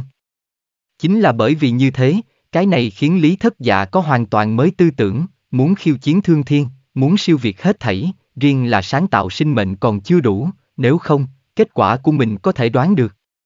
Cho nên, Lý Thất Dạ đối với sinh mệnh chi chu, sáng thế chi chu, vĩnh sinh chi chu có hoàn toàn mới tư tưởng, bọn chúng không phải đơn độc tồn tại, bọn chúng nhất định phải hỗ trợ lẫn nhau, cấu trúc một loại chưa từng có xuất hiện qua cách cục. Leo lên từ xưa tới nay chưa từng có ai đăng lâm qua độ cao. Cho nên đối với Lý Thất Dạ tới nói, hắn đường phải đi còn rất dài, đối với hắn mà nói, không chỉ là chỉ trở thành tiên đế liền có thể, đối với Lý Thất Dạ mà nói, thậm chí có thể nói trở thành tiên đế, cái kia bất quá là bắt đầu mà thôi. Lý Thất Dạ ở tại Thanh Liên Tông thời điểm, Diệp Sơ Vân cũng không có cái gì tốt làm ra vẻ ngượng nghịu, nàng trên tu đạo vấn đề trực tiếp hướng Lý Thất Dạ thỉnh giáo. Mặc dù Diệp Sơ Vân sinh tại Nam Quốc vùng sông nước, nhưng, nàng không có Nam Quốc vùng sông nước nữ tử bẽn lẽn. Nàng thẳng thắn thanh tao lịch sự, đồng thời nàng cũng là mười phần chân thành khiêm tốn hướng Lý Thất Dạ thỉnh giáo, cũng không có bởi vì chính mình là một tôn đại hiền mà cao ngạo. Diệp Sơ Vân sau ngoại nhân rõ ràng hơn, mặc dù nàng là đại hiền. Nhưng là, Lý Thất Dạ so với nàng càng thêm lợi hại. Ngay cả băng nữ hạ dạng này thiên tài đều đối Lý Thất Dạ kính nể vô cùng, nàng không có cái gì tốt đáng giá kiêu ngạo. Đối với Diệp Sơ Vân thỉnh giáo, Lý Thất Dạ cũng là không khách khí, từng cái chỉ điểm thiếu sót của nàng cùng thiếu hụt. Đạt được Lý Thất Dạ chỉ điểm, Diệp Sơ Vân như thể hồ quán đỉnh. Trước đó, rất nhiều không thể minh ngộ địa phương vào lúc này giờ phút này là rộng mở trong sáng. Lý Huynh đối đại đạo minh ngộ, tiểu mùi cả một đời cũng là không đuổi kịp. Lý Thất Dạ thật biết thấy rõ để Diệp Sơ Vân bội phục đầu rạp xuống đất. Diệp Sơ Vân tán thưởng. Lý Thất Dạ chỉ là nở nụ cười mà thôi, ngay cả tiên đế hắn đều có thể dạy dỗ đến, về phần điểm này chỉ điểm đây chẳng qua là một bữa ăn sáng. Cái này cũng được ngươi có thể nghe hiểu mới được, nếu như ngươi cho ta một con trâu để cho ta dạy, coi như ta là miệng phun hoa sen, nói đến thiên hoa loạn trụy. Cũng là không cách nào dạy hiểu. Lý thất dạ vừa cười vừa nói. Diệp Sơ Vân thiên phú rất cao, so với băng nữ hạ đến hoặc là có nhất định khoảng cách, nhưng là, nàng có một khỏa lan chất chi tâm. Cái này khiến nàng đền bù thiếu sót của mình. Lý thất dạ lời như vậy, để Diệp Sơ Vân cười một tiếng. Nhẹ nhàng cười một tiếng. Để cho nàng cái này ông nhu nữ tử càng lộ ra quyến rũ động lòng người. Đạt được Lý thất dạ chỉ điểm, Diệp Sơ Vân cũng là say mê tại tu đạo, nàng cái này ôn nhu huệ tâm nữ tử lưu tại Lý thất dạ bên người, dài bạn với hắn, đồng xuất cùng nhập. Cái này khiến Thanh Liên Tông đệ tử đều cho là mình tông chủ đã tìm tới chính mình đạo lữ. Coi như là Thanh Liên Tông lão tổ đều cho rằng Diệp Sơ Vân đã tìm được ý trung nhân. Vì chuyện này, Thanh Liên Tông lão tổ đều đặc biệt triệu kiến Diệp Sơ Vân, hỏi thăm nói ra, hai tử, ngươi chừng nào thì gả người đây. Nghe được lão tổ lời như vậy, Diệp Sơ Vân cũng không khỏi không biết nên khóc hay cười, nàng minh bạch lão tổ cũng là đã hiểu lầm, nàng cười nhẹ lay động đầu nói ra, sư tổ, ta không nói phải lập gia đình đây. Ta minh bạch ngươi vì tông môn quan tâm, bất quá, ngươi cũng không thể bỏ qua hôn nhân của mình, nếu có của mình thích, có thích hợp ngươi, cũng liền gả cho đi. Vị lão tổ này nói ra, chúng ta thanh liên tông không thể so với những tông môn khác, chúng ta thanh liên tông là cho phép trưởng môn gả cho. Chúng ta thanh liên tông không có tranh hùng thiên hạ chi tâm, tiểu an liền có thể, trong tông môn trưởng bối cũng không hy vọng ngươi vì tông môn mà tha đà cả đời. Bị lão tổ vừa nói như vậy, Diệp Sơ Vân cũng không biết nói thế nào tốt, nàng cùng Lý Thất Dạ đồng xuất cùng nhập sự tình sớm tại bên trong tông môn truyền ra, có thể nói không có đệ tử không biết hai người bọn họ đồng xuất cùng nhập, trên thực tế, hai người bọn họ lại là sự tình gì đều không có phát sinh qua. Đi cùng với ngươi tên tiểu tử kia ta cũng nhìn, tên tiểu tử này thật sự không tệ, xử thế không sợ hãi, đạo tâm không dao động, tương lai tuyệt đối là một cái không tầm thường nhân vật. Nếu như ngươi ưa thích, liền gả cho đi, trong tông trưởng bối đều ủng hộ ngươi. Lão Tổ nói với Diệp Sơ Vân. Diệp Sơ Vân cười khổ không được, nàng nhẹ nhàng lắc đầu nói ra, sư tổ, đây là không có ảnh sự tình, lại nói, coi như ta tình nguyện gả cho, Lý Huynh còn không nguyện ý lấy đâu, bên cạnh hắn là mỹ nữ như mây, từng cái đều là thiên tài. Nhân hôn cần chính mình đi tranh thủ, chỉ cần ngươi đi tranh thủ liền có cơ hội. Vị lão tổ này nói một cách đầy ý vị sâu xa nói. Diệp Sơ Vân dở khóc dở cười, cuối cùng, nàng hướng lão tổ từ biệt, không nguyện ý bàn lại vấn đề này. Bởi vì tất cả mọi người đã hiểu lầm nàng cùng Lý Thất giả quan hệ, hơn nữa cái này hiểu lầm là càng ngày càng sâu. Mặc dù nói trong tông môn rất nhiều người đều đã hiểu lầm Diệp Sơ Vân cùng Lý Thất Dạ quan hệ, bất quá, đối với dạng này hiểu lầm, Diệp Sơ Vân không có làm sáng tỏ qua, Lý Thất Dạ cũng lười đi làm sáng tỏ, kể từ đó, tất cả mọi người cho rằng bọn họ hai người đều đã đã đạt thành ăn ý, đều cho rằng hai người bọn họ đã là song phi song túc. Lý Thất Dạ ở tại Thanh Liên Tông có thể nói là thời gian trôi qua đặc biệt hài lòng, không có bất kỳ cái gì phiền não sự tình, bất kỳ cái gì việc vặt đều sẽ bị Diệp Sơ Vân xử lý tốt, hơn nữa hai người bọn họ luận đạo là đặc biệt thuần túy, không có phiền não, không có thế tục, Lý Thất Dạ cũng là ưa thích cuộc sống như vậy. Đồng dạng là ôn nhu người, Diệp Sơ Vân cùng Tử Yên Phu Nhân có khác nhau rất lớn, Tử Yên Phu Nhân nhu tình như nước, nàng giống như là rã trích xuân thủy thẩm thấu nhập Lý Thất Dạ trong sinh hoạt, mà Diệp Sơ Vân giống như là tróc trách dòng suối nhỏ, vì Lý Thất Dạ gột rửa thế tục hồng trần. Diệp Sơ Vân nương theo tại Lý Thất Dạ bên người, không cho tục sự quấy rầy Lý Thất Dạ lĩnh hội vô thượng đại đạo, bất quá, một ngày này Diệp Sơ Vân vẫn là quấy rầy Lý Thất Dạ.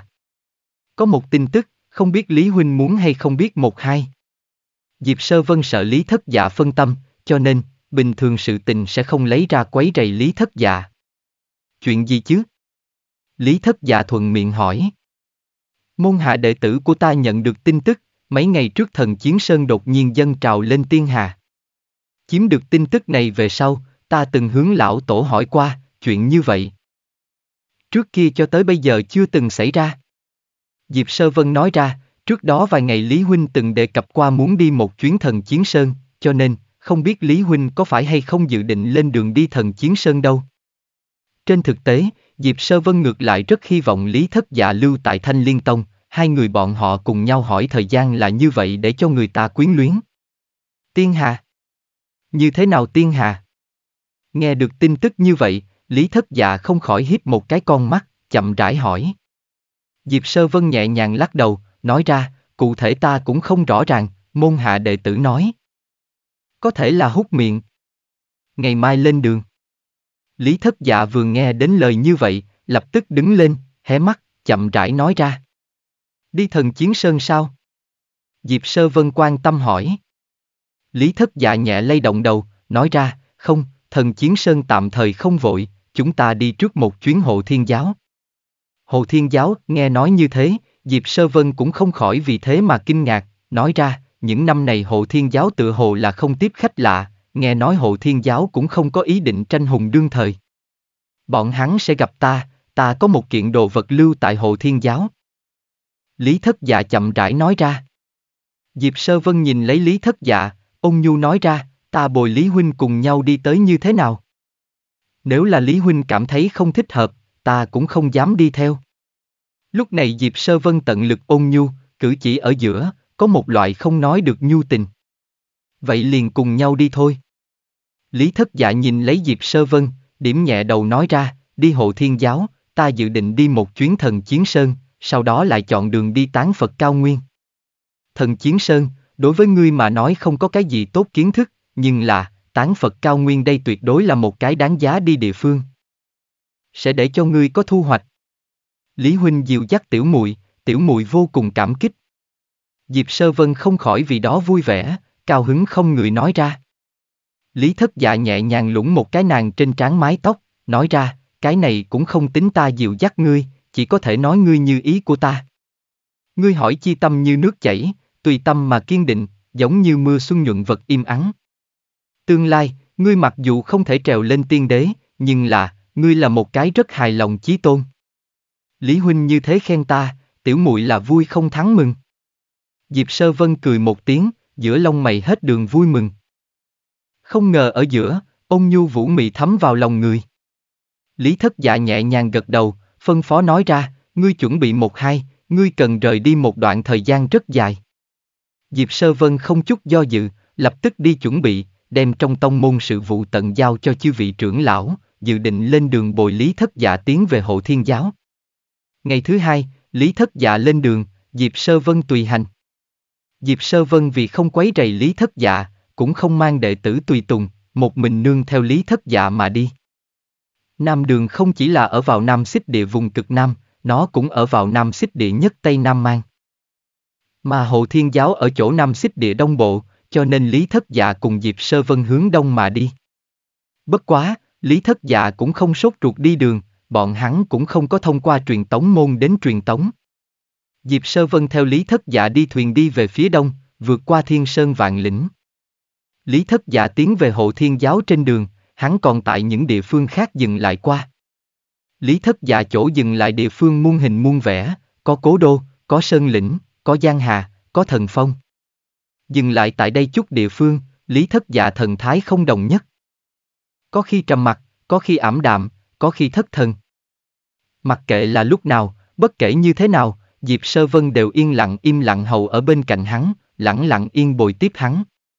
Đối với Nam Xích Địa, Lý Thất Dạ trong nội tâm có không đồng dạng ý nghĩa. Nếu như nói, Đông Bách Thành là nhân tộc khởi nguyên địa một trong, như vậy, đối với Lý Thất Dạ bản thân mà nói, Nam Xích Địa là một cái để hắn không muốn hồi tưởng lại địa phương. Nhưng là, đồng thời, Nam Xích Địa lại là để Lý Thất Dạ muốn nhất dừng lại địa phương.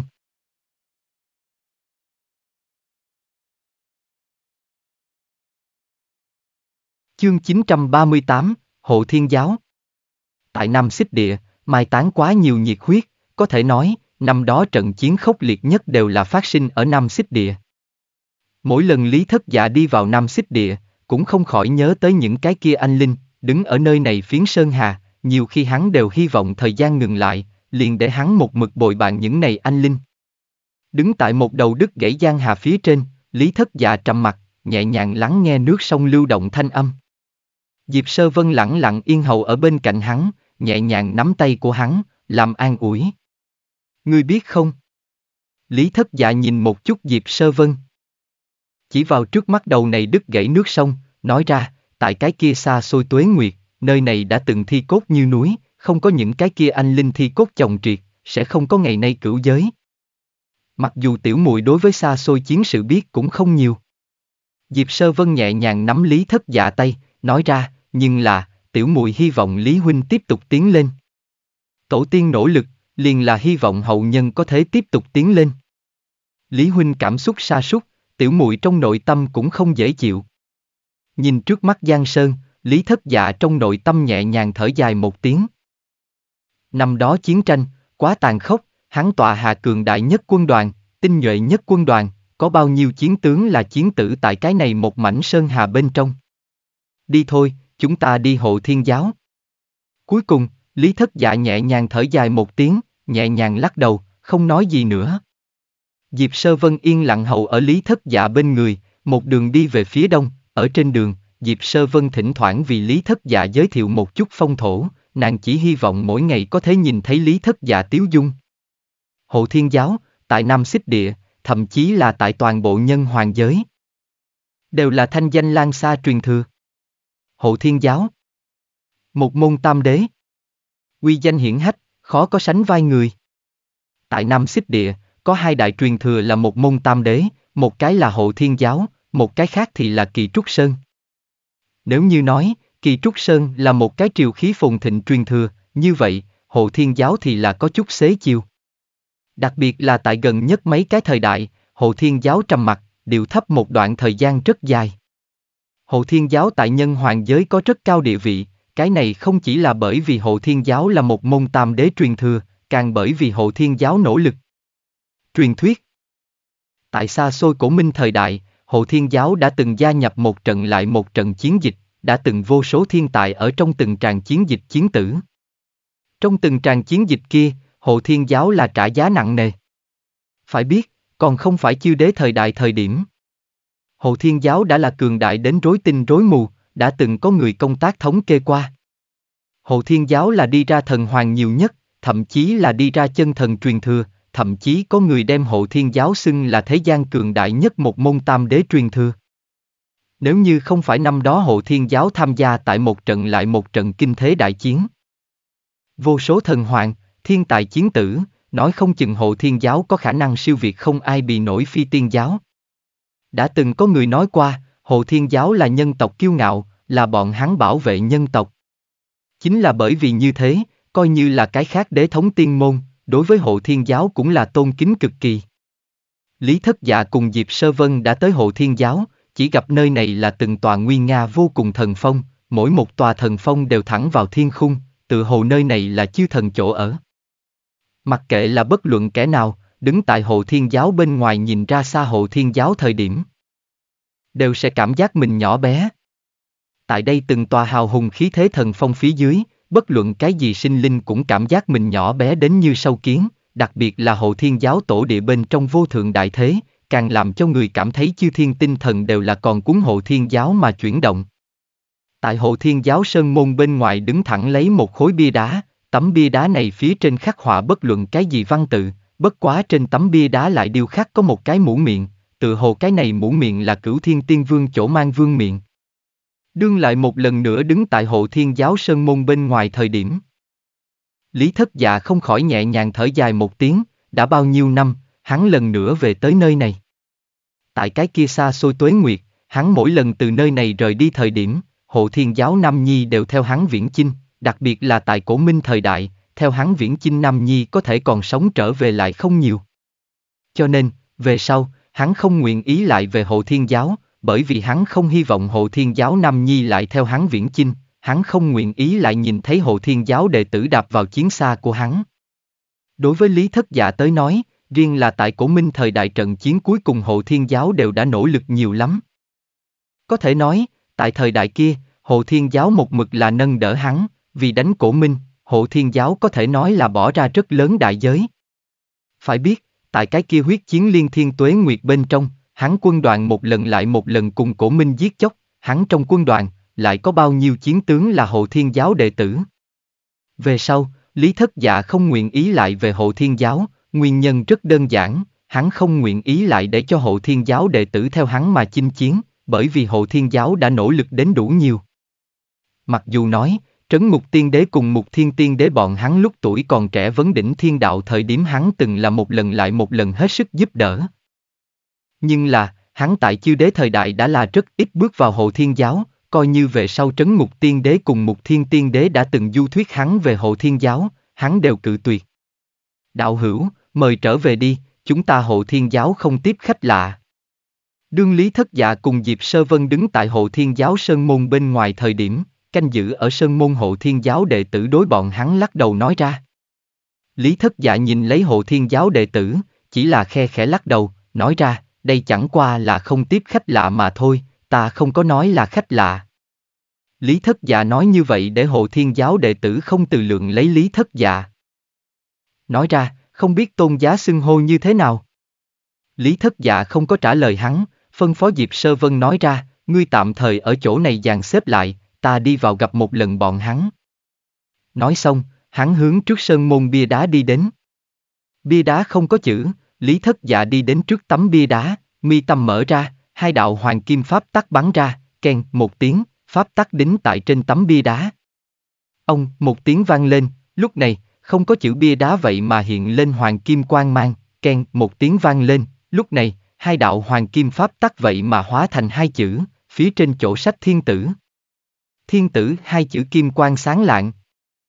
Đại khí bàn bạc, phóng khoáng tự do, tiếp lấy thiên tử hai chữ biến mất, bia đá mở ra, một cái hoàng kim thần quan hiển hiện, cái này hoàng kim thần quan chính là hai đạo hoàng kim pháp tắc xen lẫn mà thành. Lúc này, Lý Thất Dạ lấy xuống hoàng kim thần quan, trang trọng mà đem nó đeo ở trên đỉnh đầu. Hoàng kim thần quan đeo tại trên đỉnh đầu, rủ xuống từng đầu màu hoàng kim tu cờ. Dạng này hoàng kim thần quan đeo tại Lý Thất Dạ trên đỉnh đầu, cái này lập tức để Lý Thất Dạ tản ra một cổ để cho người ta kính úy tiên uy, nhìn quanh ở giữa, Lý Thất Dạ tự như là một đời tiên vương. Nhìn thấy Lý Thất Dạ thần thái như thế. Diệp Sơ Vân cũng không khỏi vì đó động dung, giờ khắc này, Lý Thất Dạ giống như là tiên vương lâm thế, bất kể là ai nhìn cũng vì đó kính sợ. Canh giữ ở sơn môn hộ thiên giáo đệ tử cũng không khỏi giật nảy cả mình, cái này không có chữ bia đá không biết sừng sững bao nhiêu năm tháng, bọn hắn đều xưa nay không biết dạng này tấm bia đá này có dạng này huyền diệu. Đi thôi, gõ vang một tiếng tiếng chuông, thiên tử trở về. Lý thất dạ phân phó canh giữ ở sơn môn đệ tử nói ra. Thiên tử trở về, nghe được lời như vậy, canh giữ ở sơn môn đệ tử không từ một cái giật mình, không nói hai lời. Lập tức hướng bên trong chạy tới. Lý thất dạ đầu đội hoàng kim thần quang, hướng hộ thiên giáo bên trong đi đến. Đương bước vào mảnh này quen thuộc đến không thể quen thuộc hơn nữa Sơn Hà thời điểm, Lý thất dạ trong nội tâm có không nói được nặng nề. Ken, một tiếng kéo dài nặng nề tiếng chuông vang lên, một tiếng này kéo dài trầm hậu tiếng chuông, truyền đi rất rất xa, coi như là hộ thiên giáo chỗ sâu nhất ngủ say lão tổ đều có thể nghe được. Một chuông thiên tử về. Coi như là trong ngủ mê lão tổ đều bị tiếng chuông này bừng tỉnh, nghe được chỉ có một tiếng kéo dài nặng nề tiếng chuông. Lão tổ cũng không khỏi giật nảy cả mình, lầm bầm nói ra, chẳng lẽ là thật. Lúc này, Lý Thất Dạ đi vào một tòa cổ điện, ngồi cao nơi đó, phân phó canh giữ ở cổng đệ tử nói ra, để cho các ngươi lão tổ hoặc là giáo chủ tới gặp ta. Canh giữ ở cổng đệ tử đều mười phần giật mình, nhưng, không dám thất lễ, lập tức tiến đến.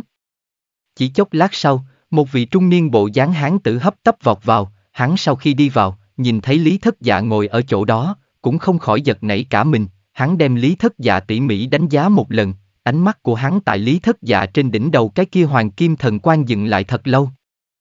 Các ngươi tất cả đi xuống đi. Rốt cục xác định về sau, trung niên hán tử phân phó giữ ở ngoài cửa đệ tử nói ra. Đệ tử lên tiếng, toàn bộ tất cả lui ra. Lý thất dạ ánh mắt rơi vào vị này trung niên hán tử trên người, người trung niên hán tử này thân thể mập mạp, thoạt nhìn có điểm giống giữa phàm thế một nhà cửa hàng bên trong chưởng quỷ. Vậy nhưng chớ bị người trung niên hán tử này mập mạp bề ngoài làm cho mê hoặc, hắn tại Nam Xích địa thế nhưng là tiếng tâm lừng lẫy. Hắn liền là hộ thiên giáo giáo chủ, đạo hiệu Đô Thiên. Hắn tại đạo Giang thời đại cưỡng ép đăng lâm đại hiền. Quy danh lan xa, để cho người ta kính sợ. Đô Thiên hướng Lý Thất Dạ không người chào thân, cung kính nói ra, không biết tôn giá xưng hô như thế nào. Thiên tử, Lý Thất Dạ. Lý Thất Dạ mặt không biểu tình, nói ra, tôn chỉ của các ngươi là cái gì? Hồ Thiên Tử, Thủ Thiên Uy, Đô Thiên vội vàng quát to một tiếng, lập tức phục bái tại đất, cao giọng nói, Thiên Tử trở về, tông môn chưa lấy trận nghi đón lấy, đây là đệ tử sai lầm, Lý Thất Dạ nhẹ nhàng khoát tay nói ra, người ta đều không là người ngoại, trước kia lễ nghi phiền phức thì miễn đi. Đô Thiên đứng lên, hắn cũng không khỏi có chút kích động. Bọn hắn hộ thiên giáo nội bộ một mực có truyền thuyết, bọn hắn những này hậu thế đệ tử sứ mệnh liền là chờ đợi thiên tử trở về. Giống như bọn hắn hộ thiên giáo tôn chỉ, hộ thiên tử, thủ thiên uy. Đây là bọn hắn hộ thiên giáo đời đời truyền lại tổ húng. Nhưng là, nhiều đời đi qua, thiên tử cũng không trở về, mặc dù nói, ở đời sau trấn mục tiên đế cùng mục thiên tiên đế đều có thiên tử tin tức, nhưng là, thiên tử chưa từng có trở lại qua. Hộ thiên giáo nhiều đời gần nhau, chờ đợi thiên tử trở về, có thiên tử, hộ thiên giáo mới thật sự là hộ thiên giáo.